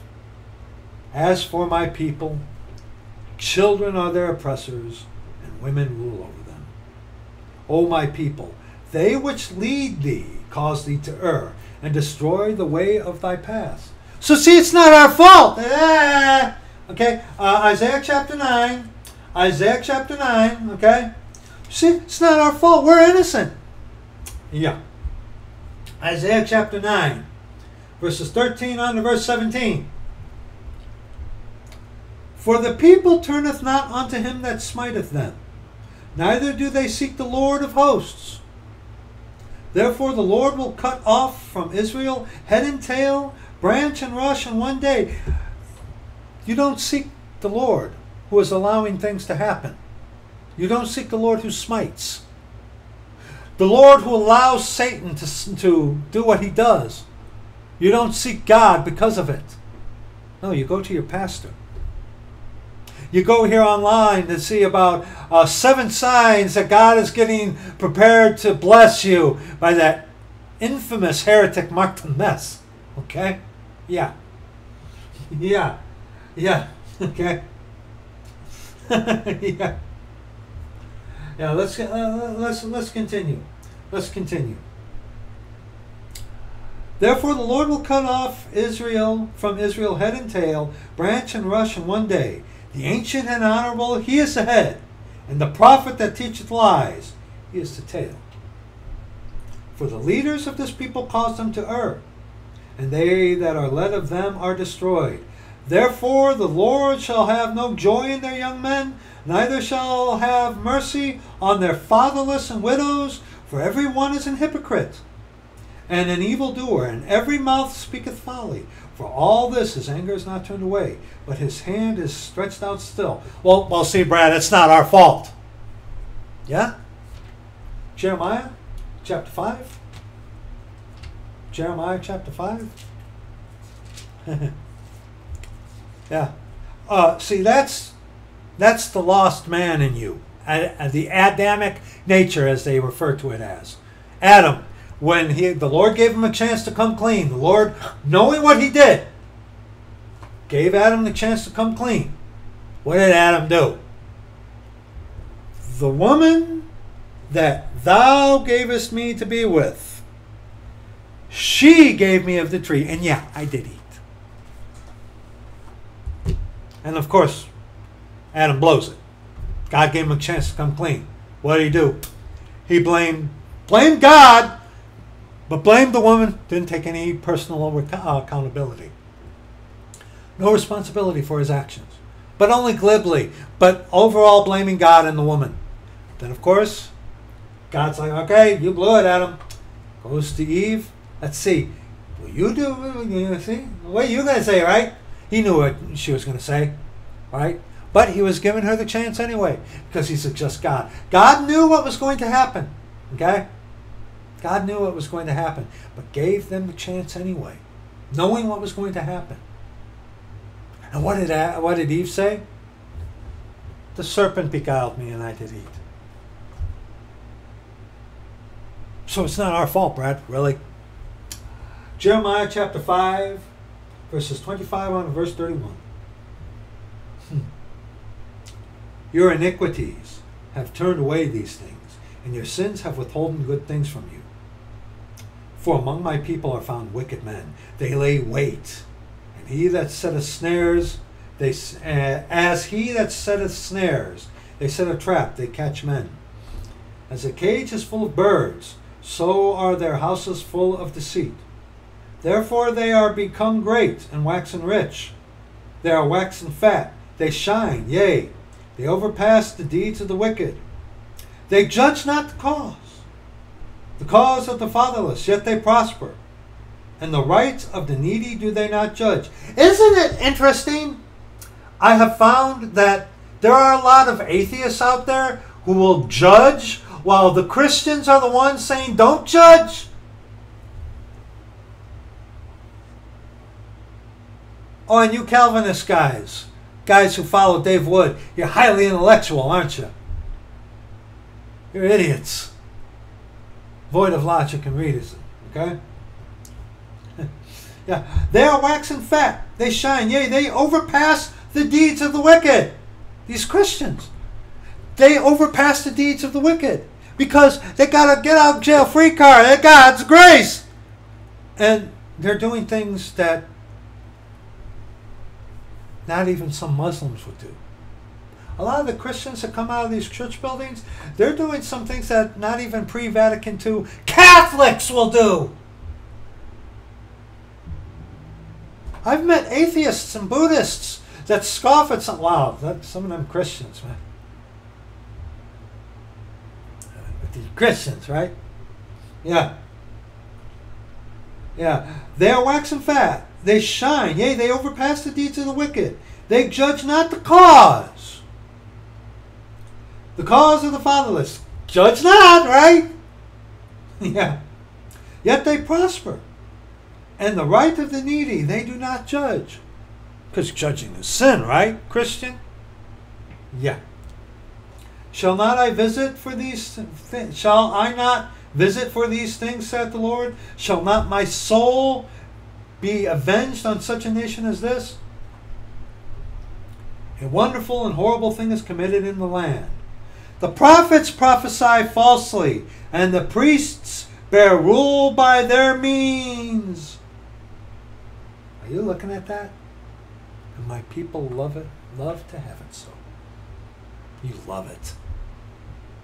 And what will ye do in the end thereof? Of course, Paul talks about, for the time will come when they will not endure sound doctrine, but after their own lusts shall heap to themselves teachers having itching ears. And in Isaiah, uh, uh, speak not to us uh, right things, speak to us smooth things, prophesy deceits. You love to have it so. You don't want to hear the truth of God's word. Why? Because you don't take God's word seriously. If you did, things would be different. But Christianity today does not take the Word of God seriously. Not at all. Not at all. And that, Jeremiah chapter 13, one verse, verse 10. This evil people, which refuse to hear my words, which walk in the imagination of their own of their heart, yeah, which walk in the imagination of their heart, and walk after other gods to serve them and to worship them, shall even be as this girdle, which is good for nothing. A girdle holding the uh, girdle good for nothing. And we read about the armor of God, about how you were to be have your loins girt with truth.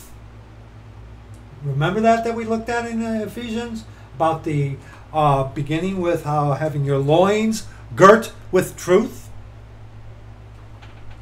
This evil people which refuse to hear my words, which walk in the imagination of their heart, and walk after other gods to serve them and to worship them, shall even be as this girdle which is good for nothing.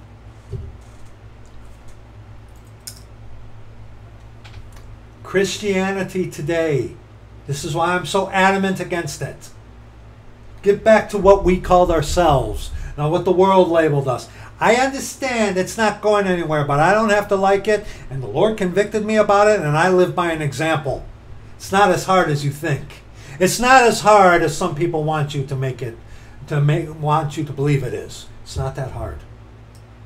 Actually, it's a little bit easier. I put it into practice, people. You know, when you remove from your well, I'm not a Christian. What? But you believe in Jesus Christ. Yes, but I'm not a Christian. I'm not what they are. I'm not a Christian. I'm of the Church of God or the Church of the Living God. There's a big difference. Try it. You you you people out there who scoff at that, try it. Try it. See. It's not that hard. Okay? But yes, this evil people, this Christianity today is good for nothing. There's no reforming it, there's no fixing it. It's good for nothing. It's a girl that is marred. Good for nothing. And then Zechariah chapter 7. Not, no, not there. Zechariah chapter 7, verses 8 on to verse 14. Zechariah chapter 7, verses 8 on to verse 14. The word of the Lord came unto Zechariah, saying, Thus speaketh the Lord of hosts, saying, Execute true judgment, and shew mercy and compassion every man to his brother, and oppress not the widow, nor the fatherless, the stranger, nor the poor, and let none of you imagine evil against his brother in your heart. Now, this was when it was works. This is our instruction in righteousness. See, the Christians hate those who rebuke in the gate. The Christians hate those who speak the truth. They really do. But they refuse to hear and pulled away the shoulder and stopped their ears that they should not hear. To go all stonewall on you. It's a shame that a psychological manipulation tactic is named after a legendary general uh, that was betrayed by the Jesuits. Yea, they make their hearts as an adamant stone, lest they should hear the law and the words which the Lord of hosts has sent in his spirit by the former prophets. Therefore came a great wrath from the Lord of hosts. And you think that you're going to get by today when you read the Old Testament and see what God did to the apple of his own eye? And you think you're going to get away scot free and that you have a license to sin? Oh boy. Oh boy. Therefore it has come to pass that as he cried, and they would not hear, so they cried, and I would not hear, said the. But I scattered them with a whirlwind, whirlwind among all the nations whom they knew not. Thus the land was desolate after them, that no man passed through nor returned, for they laid the pleasant land desolate. Time's going to come And by then it's going to be too late for you. You don't take seriously what God says today. How are you going to do it when your life depends on it? Why so serious? There's going to come a time, you mark my words, boy. There's going to come a time when you're going to say, I wish I had taken the Word of God more seriously. But see, for most of you, when you get to that point, it's going to be too late for you. Why? Because we're going to be gone! And it's going to be the time of Jacob's trouble. And then you got these twits. Just believe. Faith alone from Genesis on to Revelation. It's you who get left behind. Who, who, are, you know, who realize, wow, I was lost you guys who get left behind, who think you're saved, but then it's going to take a major catastrophe to finally get it through your thick head that you're not. And by then it's going to be too late. You're going to have to die a martyr. And you think you're going to do that? Then, when you can't do it right now, give me a break. Give me a break. Where the stones, boy? Oh, but you have them to try to refute the Church of the Living God. But to stand for the truth,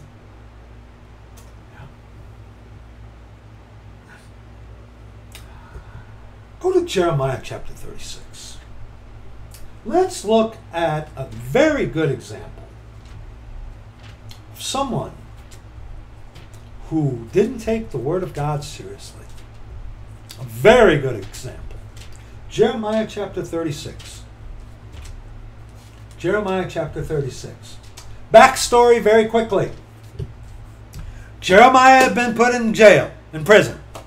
And Jeremiah chapter 36, let's read verses, where are we? Verses 4 and 6 to start. 4 on to verse 6, okay? Then Jeremiah called Baruch, the son of Neriah, and Baruch wrote from the from the mouth of Jeremiah all the words of the Lord which he had spoken unto him upon a roll of a book. See, this was under the dispensation of the law, where the Holy Ghost would come and go, come and go, no permanent seal. Okay? And the Holy Ghost, the Lord, gave Jeremiah the words, and Baruch was writing and dictating them. Uh, within the Apocrypha, they have what they call the, that supposed letter, okay, which doesn't line up scripturally anyway, okay? But, okay, you got to remember, this was under the dispensation of the law when there was no seal, okay, where the Holy Ghost wasn't a permanent resident as he is today. He could come and go, come and go, okay? So, you got to keep that in mind. But, Baruch, the son of Neriah, wrote the words that the Lord spake to Jeremiah as a warning unto the people. Let's continue. Okay? And Jeremiah commanded Baruch, saying, I am shut up and cannot go into the house of the Lord. Therefore go thou and read in the roll which thou hast written from my mouth the words of the Lord in the ears of the people in the Lord's house on the fasting day. And also thou shalt read them in the ears of all Judah that come out of their cities. So the Lord gives Jeremiah this word, and Jeremiah speaks it, and Baruch dictates it. And it's for what? To go and warn the people. Okay? So he goes and does that. Now we're going to be reading from verses 20 under verse 26. Pause the video and read the entire chapter. Okay? That's just a basic backstory. Okay, Baruch goes and does that. And some of the princes are like, oh wow, man, this this this is um wow, we better we better pay attention to this. Okay? They were. They were like, wow, dude, you're saying some pretty harsh wow. We better we better take this to the king. We better go to the king. Let's see what our ruler, our fearless, and this is talking about Jehoiakim. Jehoiakim. Oh boy, he was, yeah, yeah. But this is talking about Jehoiakim during his time. Okay. But the princes, they heard the, the, the words that Baruch said, and they were like, oh boy, we better go take this to the king. the king, the ruler of the people. Verses 20 on to verse 26 now. And they went in to the king into the court, but they laid up the roll in the chamber of Elishama the scribe, and told all the words in the ears of the king. So, hey, hey Majesty, we heard Baruch saying all this stuff. This is what he said. Okay? So the king sent Jehudi to fetch the roll, and he took it out of out of Elishama the scribe's chamber. King's like, okay, get this roll. Let me let me let me hear it for myself. Let me let me see the actual roll, okay? And Jehudi read in the ears of the king and in the ears of all the princes which stood beside the king. So the king was no longer ignorant. He heard the judgment that was coming. Now the king sat in the winter house in the ninth month, and there was a fire on the hearth burning before him. And it came to pass that when Jehudi had read three or four leaves, he cut it with a penknife and cast it into the fire that was on the hearth until the roll was consumed in the fire that was on the hearth. Cut it with a penknife. So he read a little, cut it up, threw it away. Which Bible correctors do, what Jesuit trained cemeterians do, you know, with their, uh, what is it, 28 Nestle Aland or whatever, whatever number they're on right now. Well, we don't like that. Cut it out, throw it in the fire, put a little yea hath God said in there. But see, he heard the word, this warning from the Lord. What did he do? Jehudi cut it up and burned it. Verse 24. Yet they were not afraid, nor rent their garments. Neither the king nor any of his servants had heard all these words. They weren't afraid. Why? They didn't take the word of God seriously.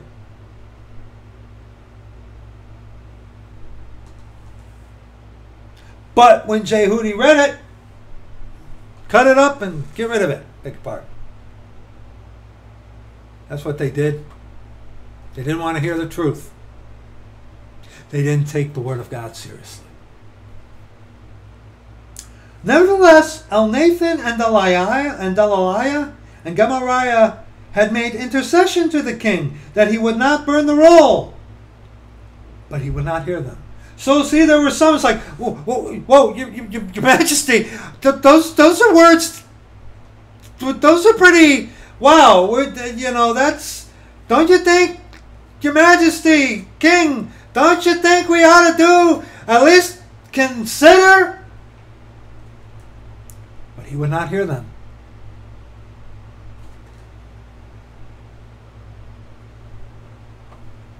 But the king commanded Jerahmeel, the son of Hamelech, and Seraiah the son of Azriel, and Shelemiah the son of Abdeel, to take Baruch, the scribe, and Jeremiah the prophet. But the Lord hid them. Hmm. Jeremiah was shut up, and, and so what? Je- Jehoiakim didn't know where he was? Uh, apparently not because it said the Lord hid them. But what's more important is what did the king do? He had the roll burnt that had the warnings that were coming to him in his kingdom of impending doom. People pleaded with him. Your Majesty, hey, hold on, man. But he still burnt it anyway. And then what did he do? He went and turned his attention to attack those who gave him that word. Does that sound familiar? Come on, come on, people, come on. That's not, that's what's going on today. We, the Church of the Living God, we're warning you Christians, you lost people, of what is coming. You'll hear it, cut it, throw it away. Some, some, hey, hey, dude, you ain't saying that these that these guys of the Church of God, they they ain't saying what that that uh, that lady in the church building is preaching about. okay, we, we should not. I don't want to hear it. Hey, you're being judgmental. Who do you? Oh, who are you? Oh, so you know who's going to hell and isn't, huh? Who do you think you are? Coming from the astute, highly intellectual people. Didn't take seriously the Word of God. And, and you want to know what happened because they didn't take seriously the Word of God? Jeremiah chapter 39. Jeremiah chapter 39, verses 1 on to verse 3. And because you don't take seriously the Word of God, all things that were written for time were written for our learning. In the ninth year of Zedekiah, king of Judah, in the tenth month came Nebuchadnezzar, king of Babylon, and all his army against Jerusalem, and they besieged it. And in the eleventh year of Zedekiah, in the fourth month, the ninth day of the month, the city was broken up, meaning Jerusalem fell. And all the princes of the king of Babylon came in and sat in the middle gate, even Nergal Shazrir, Sharazir, uh, Samgar Nebo, Sarsechim, Rabsaris, Nergal Shazrir, Rabmag, with all the residue of the princes of the king of Babylon. So the heathen came in to the city of Jerusalem. Why did this happen? Because Israel not take the word of the Lord seriously. And this is what's going to happen to you, dear friend, if you don't take the word of God seriously. You take, don't take God seriously. That is your fate. No, what are you going to do with that, huh? What are you going to do with that? Go to Second Chronicles chapter 36. Second Chronicles chapter 36. Okay? Verses 14 on to verse 16. Yes. Again. Moreover, all the chief of the priests and the people transgressed very much after all the abominations of the heathen, and polluted the house of the Lord which he had hallowed in Jerusalem. And the Lord God of their fathers sent to them by his messengers, rising up betimes and sending, because he had compassion on his people and on his dwelling place. But they mocked the messengers of God and despised his words and misused his prophets until the wrath of the Lord arose against his people till there was no remedy. Listen to me. Listen to me. You Christians out there, you lost people. Eventually, there's going to be no remedy and the Lord's wrath is going to be poured out in great measure upon this planet. It's called the time of Jacob's trouble. You're alive today, you have grace, you have mercy, you have today. What are you going to do with today? You are being warned of wrath to come. You need to take the word of God. Don't don't take me seriously. a lot of people don't, unfortunately. but don't Search the scriptures. Do what the scoundrel David Wood claims to do, but doesn't. Search the scriptures. Believe, believe the Bible, right? No, believe the scriptures. Believe the scriptures. Don't believe a Bible. Believe the scriptures. Get the authorized version, not a Bible.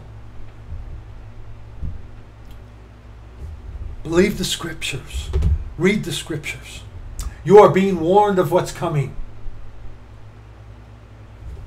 Dear friend, you got an NIV, you got an ESV, you got a Holman Christian Standard, you got a New American Standard, okay? You got an NLT, uh, uh, whatever, an NIV, non King James. Those are Bibles. Throw them away.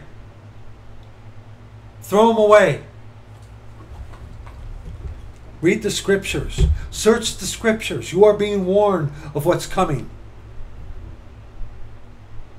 Please take the Word of God seriously. Of course, of, of course, you can't take the Bible seriously because they contradict. Atheists, Muslims, Buddhists, um, Hinduists are quick to point that out. Well, which one? Uh, none of them. The scriptures.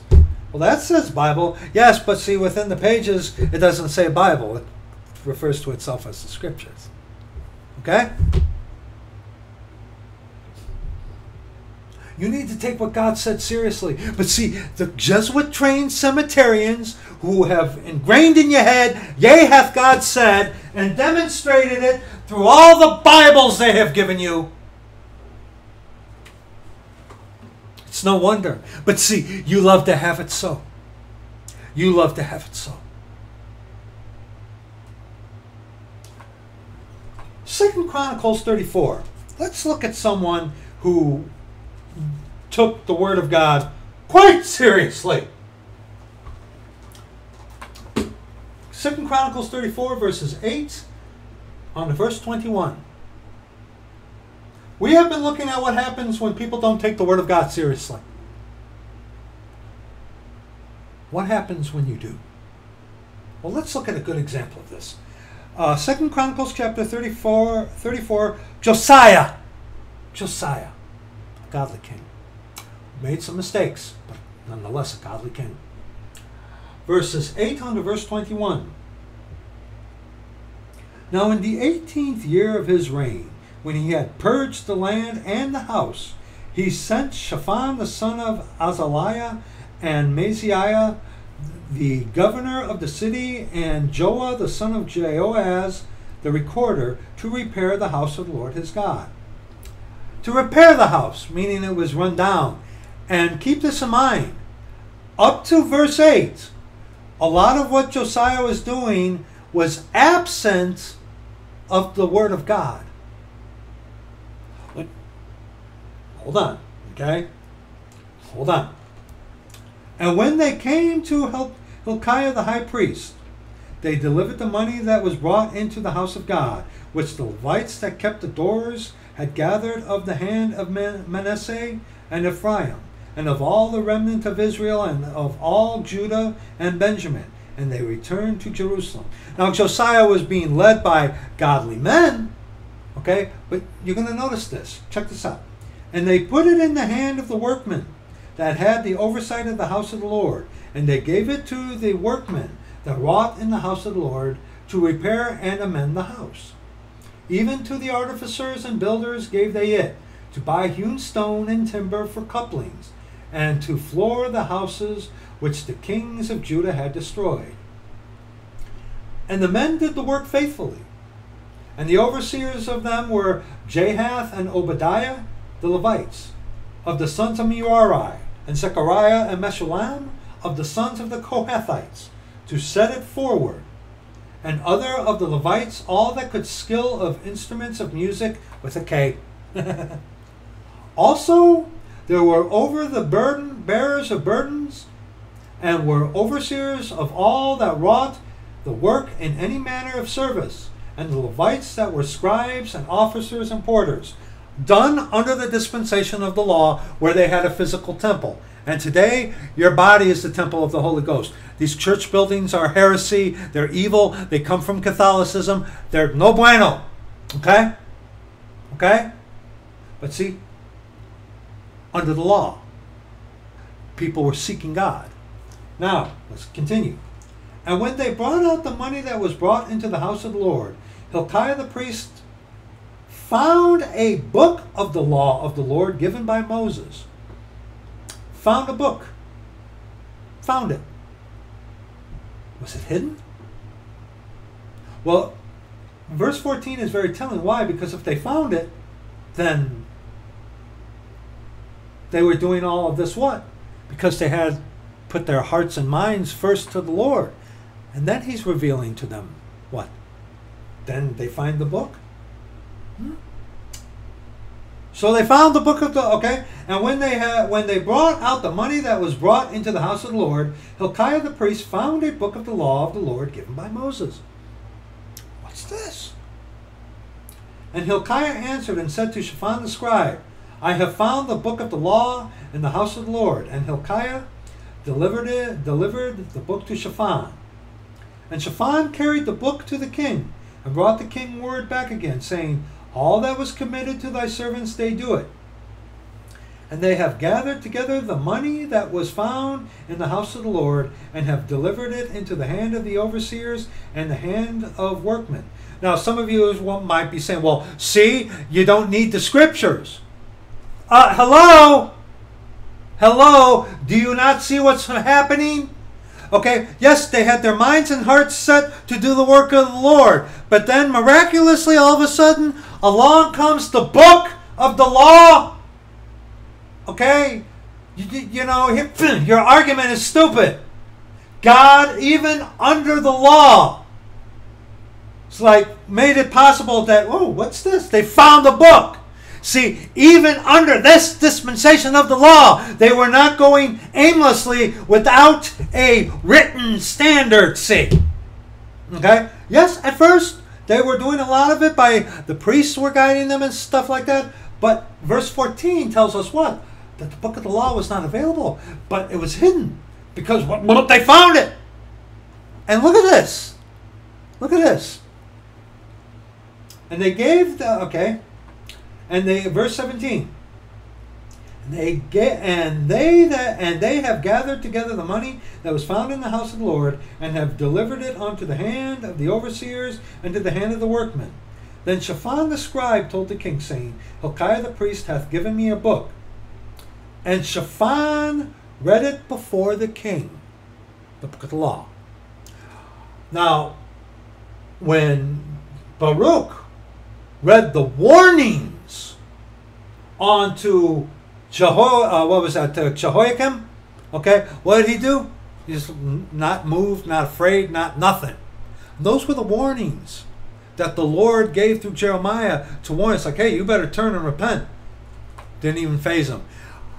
Hence, if Jehoiakim would have heard the book, uh, the words of the law, if he were to destroy the warnings given him, wouldn't affect him anyway. Okay? But here, Josiah was hearing the book of the word, the book of the law. And it came to pass, when the king heard the words of the law, that he rent his clothes. So he's like, Whoa! Whoa! It's like, whoa! Whoa! And the king commanded Hilkiah and Ahikam, the son of Shaphan, and Abdon, the son of Micah, and Shaphan the scribe, and Asaiah, a servant of the king, saying, Go, go, inquire of the Lord for me, and for them that are left in Israel and in Judah, concerning the words of the book that is found. For great is the wrath of the Lord that is poured up out upon us, because our fathers have not kept the word of the Lord, to do after all that is written in this book.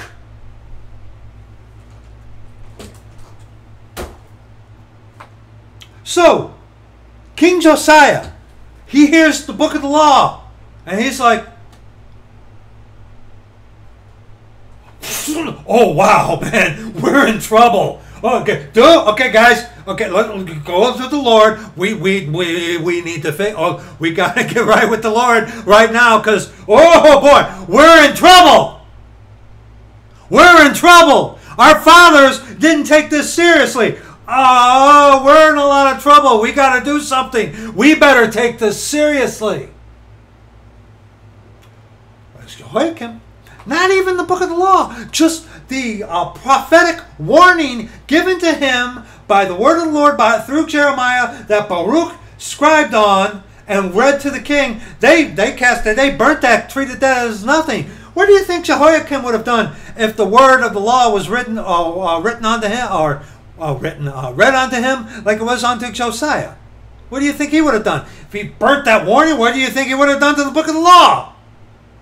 But see, Josiah, he heard the word of the Lord. What did he do? Oh, he took it seriously. He took it very seriously. And, and let's look at verses 26 on to verse 28 here. And the king of Judah, who sent you to inquire of the Lord, this is the answer that he got. So shall ye say unto him, Thus saith the Lord God of Israel concerning the words which thou hast heard. Because thine heart was tender, and thou didst humble thyself before God, when thou heardest his words against this place, and against the inhabitants thereof, and humbledest thyself before me, and didst rend thy clothes, and weep before me, I have also I have even heard thee also, saith the Lord. Behold, here's the Lord's mercy. Behold, I will gather thee to thy fathers, and thou shalt be gathered to thy grave in peace. Neither shall thine eyes see all the evil that I will bring upon this place, and upon the inhabitants of the same. So they brought the king word again. So see, that's the Lord's answer to Josiah, because he was humble, tender. It's like, whoa, Lord, please have mercy. We the Lord's like, okay. You're not going to see it in your days. It's coming regardless. Don't miss that. Don't miss that. Okay? Where he says here in verse 28 uh, Behold, I will gather thee to thy fathers, and thou shalt be gathered to thy grave in peace. Neither shall thine eyes see all the evil that I will bring upon this place. Destruction for, upon Jerusalem was inevitable. It was going to happen. But because Josiah took the word of God seriously, he humbled himself. That's called repenting, okay? He repented, and the Lord had mercy upon him because of it. And he didn't see the evil. Evil was coming. Okay, people, are you getting what is being said here? My American countrymen, America is going to fall. America is destroyed. America is doomed. There's nothing anyone can do to save it. America is going down. But individually, you have today. What are you going to do with it? Are you going to take the Word of God seriously for once? I don't want to hear that. I, want, we're going to do as we always done offering cakes to the Queen of Heaven.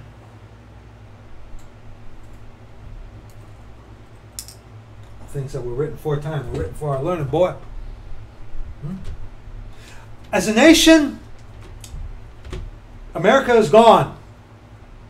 And you know what? It doesn't matter what nation on earth you are in. It doesn't matter. It doesn't matter. I, I don't care what nation you're in. Your nation is going to be destroyed anyway. Okay? yes. And uh, for some reason, I have Ezekiel chapter uh, 9, verse 4 here. And the Lord said unto me, Go through the midst of the city, through the midst of Jerusalem, and set a mark upon the foreheads of the men that sigh and that cry for all the abominations that be done in the midst thereof. And this was said at a, this was done at a specific time. This was already fulfilled. This is not about referring on to the mark because the mark of the beast is, you know, you take that, you are doomed to hell. But see, our Lord here in verse 4 is making distinction between those who what? Of the men that sigh and that cry for all the abominations that are done in the midst thereof. Do Christianity, do Christians today cry for all the, the evil that America is doing? For all the evil? No. Because they don't judge anybody. God is love. It doesn't matter what you do, right? You can get a tattoo and be a Christian. Uh, yes, those of the Church of the Living God have tattoos. They do their best to cover them up and not boast them. Okay? Uh, go to Joel. Joel. Joel. We're reading this in the Old Testament because all things that were written for time were written for our learning. History is going, if you don't learn from the past, You're going to pay for it in the future. If you don't make a stand for the truth now, what makes you think you're going to do it when your life depends on it? Joel chapter 2, verses 1 and 2. Blow ye the trumpet in Zion, and sound an alarm in my holy mountain. Let all the inhabitants of the land tremble, for the day of the Lord cometh. For it is nigh at hand, a day of darkness and of gloominess, a day of clouds and of thick darkness, as the mountains spread upon the mount, as the morning spread upon the mountains. Excuse me, a great people and a strong. There hath not been ever the like, neither shall there be any more after it, even to the years of many generations all those people that are controlled and run by the Jesuits. But see, as a nation, can this be done today? Where a nation will fast, blow the trumpet, uh, close their church buildings, get rid of the Bibles, and get back to the Scripture? That's it's not going to happen. On an individual basis, it can happen. You personally, Hey, maybe in your little hometown too. Maybe maybe your town. Your town of a thousand people, maybe. Maybe. But on a national scale, that's why when you have these idiots talking, and I'm being polite when I say that, who talk about there's a revival coming. That's talking about the revival of the Jews, not for today. Okay? A lot of charismatics, uh, you know, the latter rain thing. That's for the uh, fulfillment of the Jews. Nothing for us to do to do for us today. Nothing. Okay. I'm over in Joel chapter two, verses twelve on to verse seventeen. Can this happen na- nationally on a big scale? No. Can this happen individually? Yes. You need to start taking the word of God seriously, man. Therefore also now saith the Lord, Turn ye even to me with all your heart, and with fasting, and with weeping, and with mourning, and rend your heart, and not your garments. How many, how many have put on the facade? You've changed the way you look, but on the inside you're still the same rotten person you were before. You've only made the, you've only had a changed life. You're not a new creature. Rend your heart not your garments, from the inside out.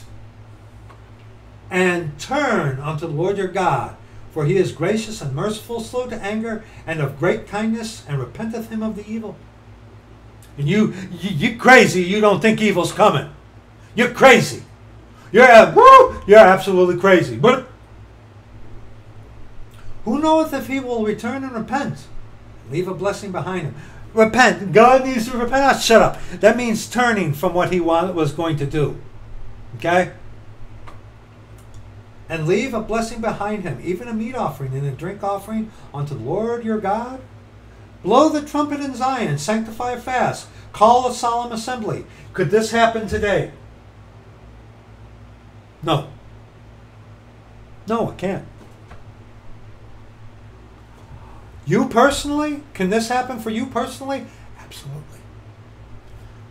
But on a grand scale, like you charismatics talk about the latter rain movement, you only talk about that for us for your own financial good, for your own means, not to see the glory of the true God, our Father, our Lord Jesus Christ. No, you're only doing it for your own selfish means. National revival, it's impossible personal. That's a different story. Yes. Gather the people, sanctify the congregation, assemble the elders, gather the children, and those that suck the breast. Let the bridegroom go forth of his chamber, and the bride out of her, her closet. Let the priests, the ministers of the Lord, weep between the porch and the altar. I'd like to see these Jesuit trained cemeterians do that. I'd like to see it. David Wood. Has he repented publicly of that nonsensical video he did three years ago, four years ago? No, he hasn't. He relishes in it. Give me a break. Hey, you, you defend that guy? I'm being polite to you, and someone needs to say this to you. David Wood is a lost Jesuit coadjutor. You're defending him? You're pretty stupid. You're pretty stupid.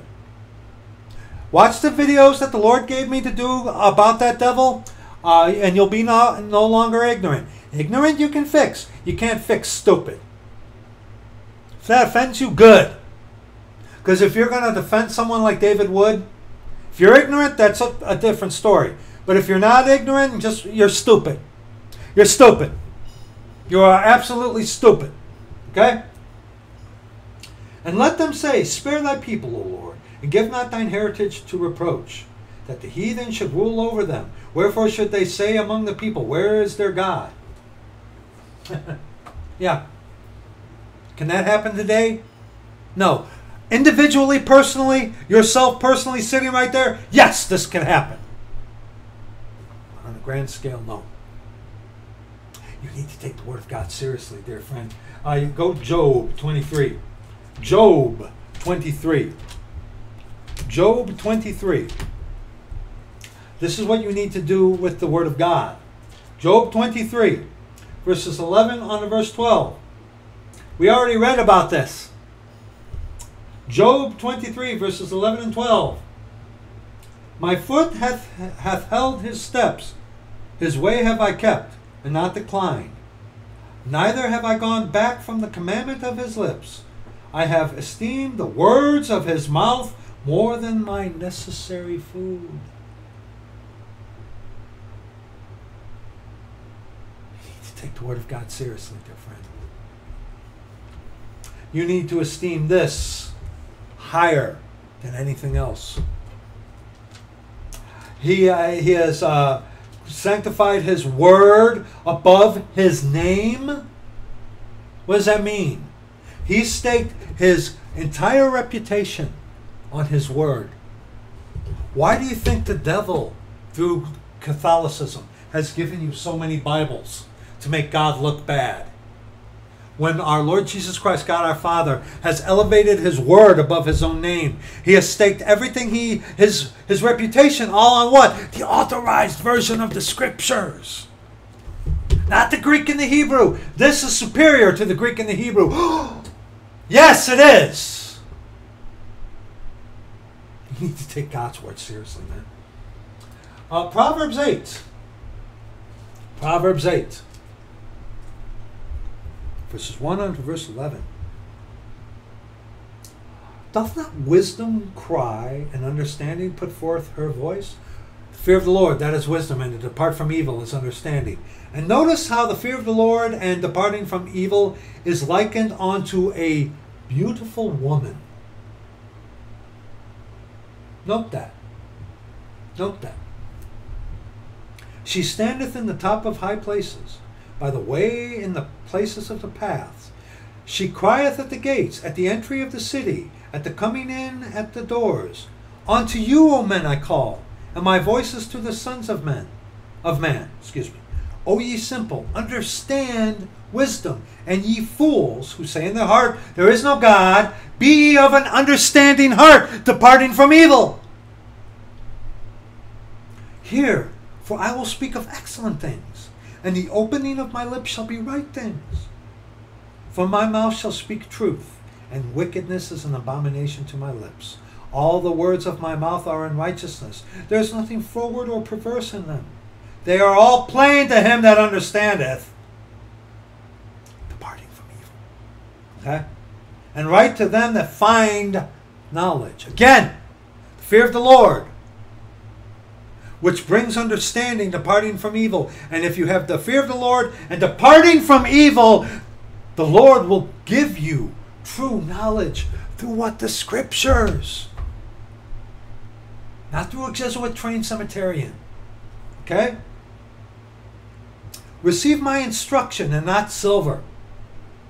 And knowledge rather than choice gold. But how many of you cast his words behind your back? For wisdom is better than rubies, and all things that may be desired are not to be compared to it. The fear of the Lord. The fear of the Lord is clean. The fear of the Lord tendeth to life, man. If you fear the Lord, you're going to believe what he says. Jehoiakim, he didn't fear the Lord. He had no fear of what he said.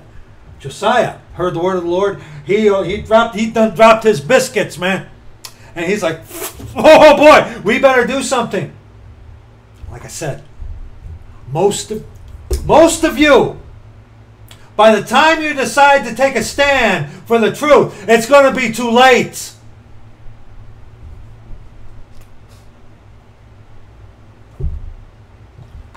Psalm 119. Oh, we can't get away. We cannot get away from taking the Word of God seriously without going to Psalm 119. We can't. Psalm 119. We are going to be reading Daleth, He, and Vau. You don't know where those are at, huh? I've told you. I've told you, I've told you. Learn to remember Psalm 119 by the little headings there. I'm not going to give you the verse numbers. Look them up. Search the scriptures. Okay? My soul cleaveth unto the dust. Quicken thou me according to thy word. I have declared my ways, and thou heardest me. Teach me thy statutes. Make me to understand the way of thy precepts. So shall I talk of thy wondrous works. My soul melteth for heaviness. Strengthen thou me according unto thy word. Remove from me the way of lying, and grant me thy law graciously. I have chosen the way of truth. Thy judgments have I laid before me. Chosen the way of truth. Sanctify them through thy truth. Thy word is truth. What are you choosing? A Bible or the Scriptures? I have stuck unto thy testimonies. O Lord, put me not to shame. I will run the way of thy commandments when thou shalt enlarge my heart. Where do you find his commandments, his testimonies, his judgments? Right here. He. Teach me, O Lord, the way of thy statutes and I shall keep it unto the end. And the keeping of them is great reward. Give me understanding, and I shall keep thy law, departing from evil. Okay? Yea, I shall observe it with my whole heart. Make me to go in the path of thy commandments, for therein do I delight. Incline my heart unto thy testimonies, and not to covetousness. Oh. Oh. That's a hard one, isn't it? And the scriptures tell us that the Lord abhorreth the covetous, abhors extreme hatred. Choose the scriptures over what you want? Oh, but that's extreme, isn't it? what about what about the crucifixion of our Lord and Savior Jesus Christ, God our Father? Huh? I guess that was too extreme, huh?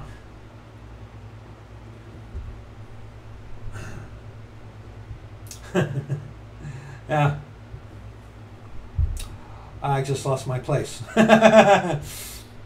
Turn away mine eyes from beholding vanity, and quicken thou me in thy way. I am the way, the truth, and the life. No man cometh to the Father but by me. Establish thy word unto thy servant who is devoted to thy fear. Turn away my reproach which I fear, for thy judgments are good.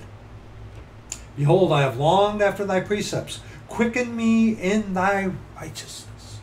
in Thy righteousness. Devoted to his fear. You fear the Lord, huh? why you want to be like the world?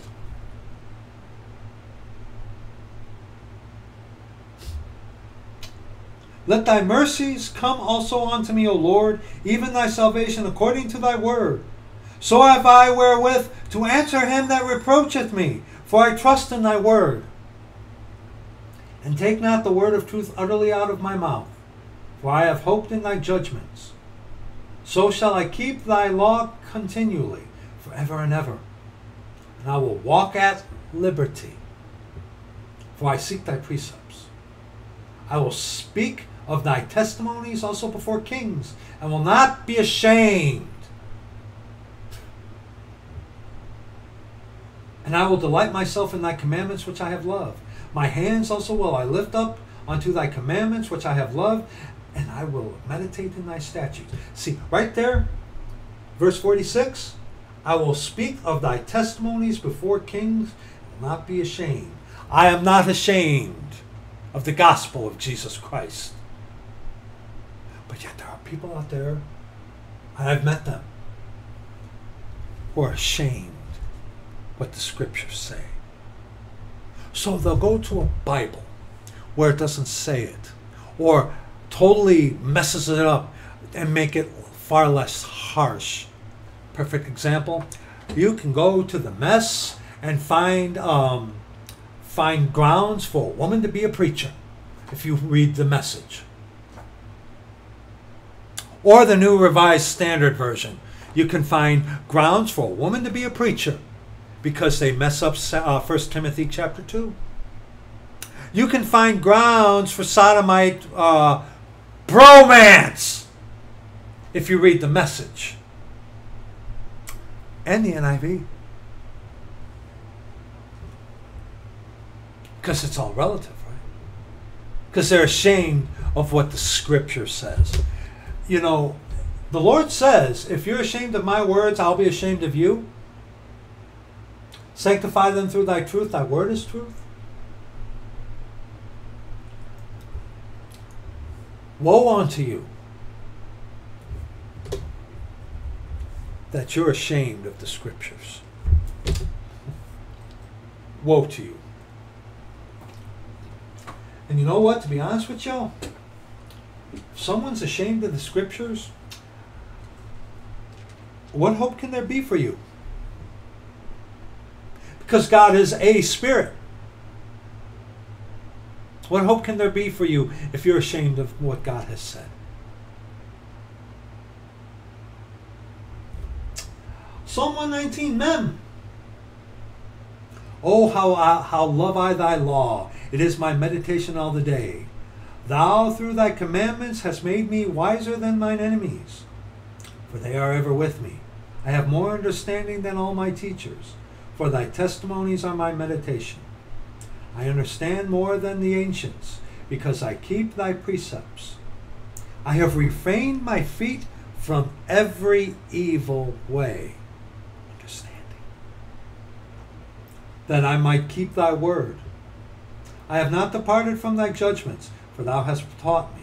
How sweet are thy words unto my taste, yea, sweeter than honey to my mouth. Through thy precepts I get understanding, therefore I hate every false way. And when you look in Ayin, Ayin, and when you look in Ayin, verses 127 and 128, Therefore I love thy commandments above gold, yea, above fine gold. What's the scripture's worth to you? Priceless. He has exalted his word above his name, the authorized version of the scriptures. What are the Bible's worth? Nothing. Therefore I esteem all thy precepts concerning all things to be right, and I hate every false way. Amen. I hate every false way. I hate Catholicism and all her daughters. I hate Islam. I hate Buddhism, Hinduism, Jesuitism, which is Catholicism. I hate Mormonism, Jehovah's Witnessism their false ways. But don't judge, right? Don't judge. Yeah. Yeah. And of course, Psalm 119, Nun. Learn to recognize Psalm 119 by that. Okay? All right? Come on. Start taking the Word of God seriously before it's too late. Thy word is a lamp unto my feet and a light unto my path. I have sworn, and I will perform it, that I will keep thy righteous judgments. I am afflicted very much. Quicken me, O Lord, according unto thy word. Accept, I beseech thee, the free will offerings of my mouth, O Lord, and teach me thy judgments. My soul is continually in my hand, yet do I not forget thy law. The wicked have laid a snare for me, yet I erred not from thy precepts. Thy testimonies have I taken as an heritage forever, for they are the rejoicing of my heart. I have inclined mine heart to perform thy statutes always, even unto the end. And see, that's indicative to us of the Church of the Living God. We live according to the standard of the authorized version of the Scripture. We take the Word of God seriously. You better too. Because we are, you are surrounded by Christianity that takes the Word of God and throws it behind their back and replaces it with a Bible or with the teachings of women like Bible is mark of beast. Or by these people who twist the scriptures. You need to take what God says seriously. You need to rightly divide the word of truth. And I'm telling you right now, if you truly take the word of God seriously, one of the first things he's going to show you is rightly dividing the word of truth. Because if you don't rightly divide the word of truth, you become Mark the Mess. You become an easy believism heretic who claims to be dispensational, but is faith alone from Genesis on to Revelation. brilliant! Brilliant! yeah, brilliant. Absolutely brilliant. but there again, what happens if you don't? What if you're like Jehoiakim? Want to attack me because I'm warning you. Jeremiah 15, verses 1 through 3. Then said the Lord unto me, Though Moses and Samuel stood before me, yet my mind could not be toward this people. Cast them out of my sight and let them go forth. Moses and Samuel. His man Moses, his boy Samuel.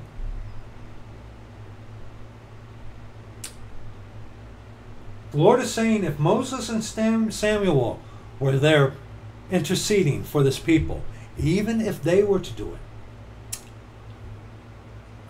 it. what is this? My mind could not be toward this people.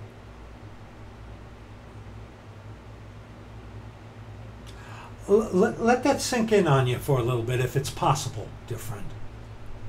The enormity of what the scriptures has just said. Oh, well, that's not for today. That's uh, a, God's all love. Have you read the first couple of chapters of the book of Revelation? You know the red words about your Jesus who talks about killing people?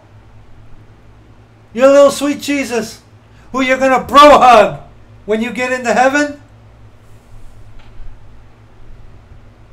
And it shall come to pass, if they say unto thee, Whither shall we go forth?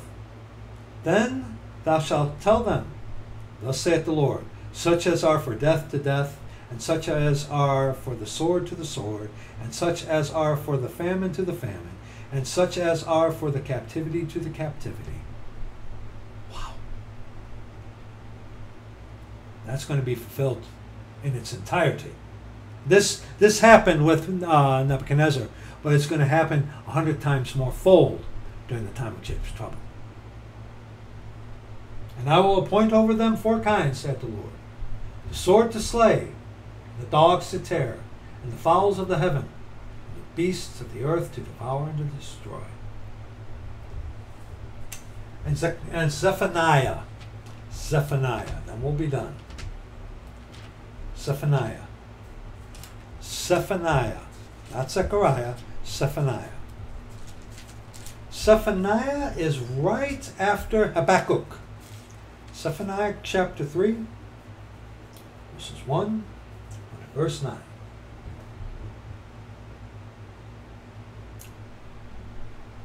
Final reminder to you for not taking the Word of God seriously. Woe to her that is filthy and polluted to the oppressing city. She obeyed not the voice, she received not correction. She trusted not in the Lord, she drew not near to her God. Her princes within her are roaring lions, her judges are evening wolves. They gnaw not the bones till the morrow. You know those teachers with your itching ears? Her prophets are light and treacherous persons. Her priests have polluted the sanctuary. They have done violence to the law. The just Lord is in the midst thereof. He will not do iniquity. Every morning doth he bring his judgment to light. He faileth not.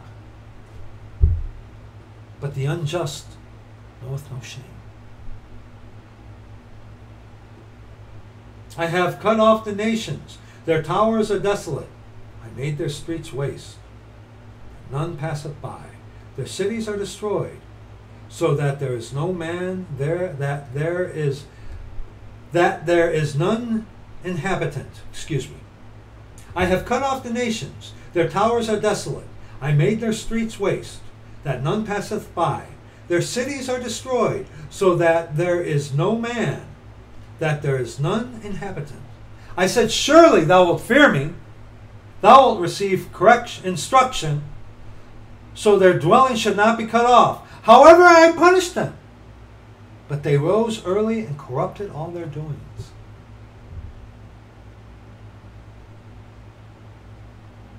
The more that the Lord may chasten some people or allow Satan to attack them, instead of turning to the Lord, they go to Satan. Therefore, wait ye upon me, saith the Lord, brethren, until the day that I rise up to the prey. That's what we're doing. We're waiting. For my determination is to gather the nations, that I may assemble the kingdoms. Why? To pour upon them mine indignation, even all my fierce anger. For all the earth shall be devoured with the fire of my jealousy. Oh, look at verse 8. You know, Catholicism wants to bring everybody under uh, together so that that man of sin, the son of perdition, will rule over them. The Lord's like, yeah, bring everybody together so I can cast judgment upon them. This ought to scare the hell out of you. Among many things. And verse 9 For then will I turn to the people of pure language, that they may all call upon the name of the Lord to serve him with one consent, after the judgment of the nations you, dear friend, are headed for if you don't take the Word of God seriously. Why so serious? Why so serious? Because the Lord commands me to be serious about it. The Lord commands me to take what He said seriously, not to cast His words behind my back or to pick and choose what makes me feel good. No. Why so serious? Because the Lord commands it.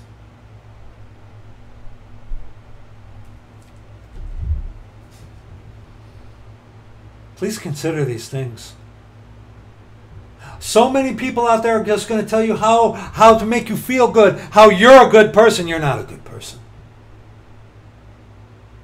And many people are going to tell you, uh, dazzle you with their brilliant intellect, intellect, but yet never quoting a scripture or even a Bible.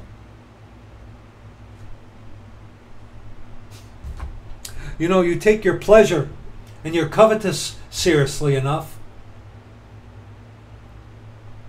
Why don't you do the right thing for once in your life? Just once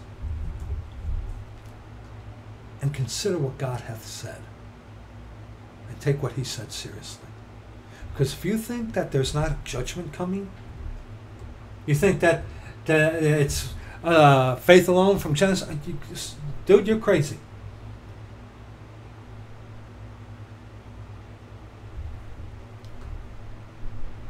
I pray you take heed to these things and consider these things.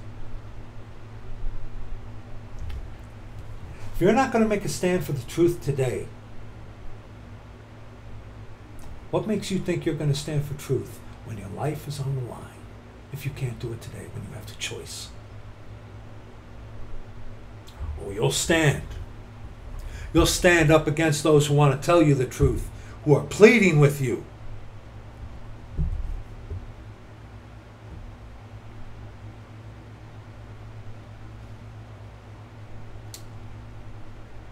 By the time you make the right choice, it's going to be too late for you. I pray, we pray, that that be not the case. It's going to be it for this video. Part two, technically, will be coming, Lord willing, Wednesday with a little addition. Um, I hope I offended you. No, no, no. I hope the Word of God has offended you. That you consider these things, that you search the Scriptures whether these things be so. And that for once in your life, you take what God has said seriously before it's too late. Thank you so much for watching this. If you do, we love you. We pray for you. Those of us, uh, our brethren, our sisters, uh, thank you to those of you who pray for us and who help us. We need all the help and prayers we can get, especially right now. Thank you for watching this if you do. We love you. We will see you in the next video. Lord willing, that will be Wednesday. Lord willing.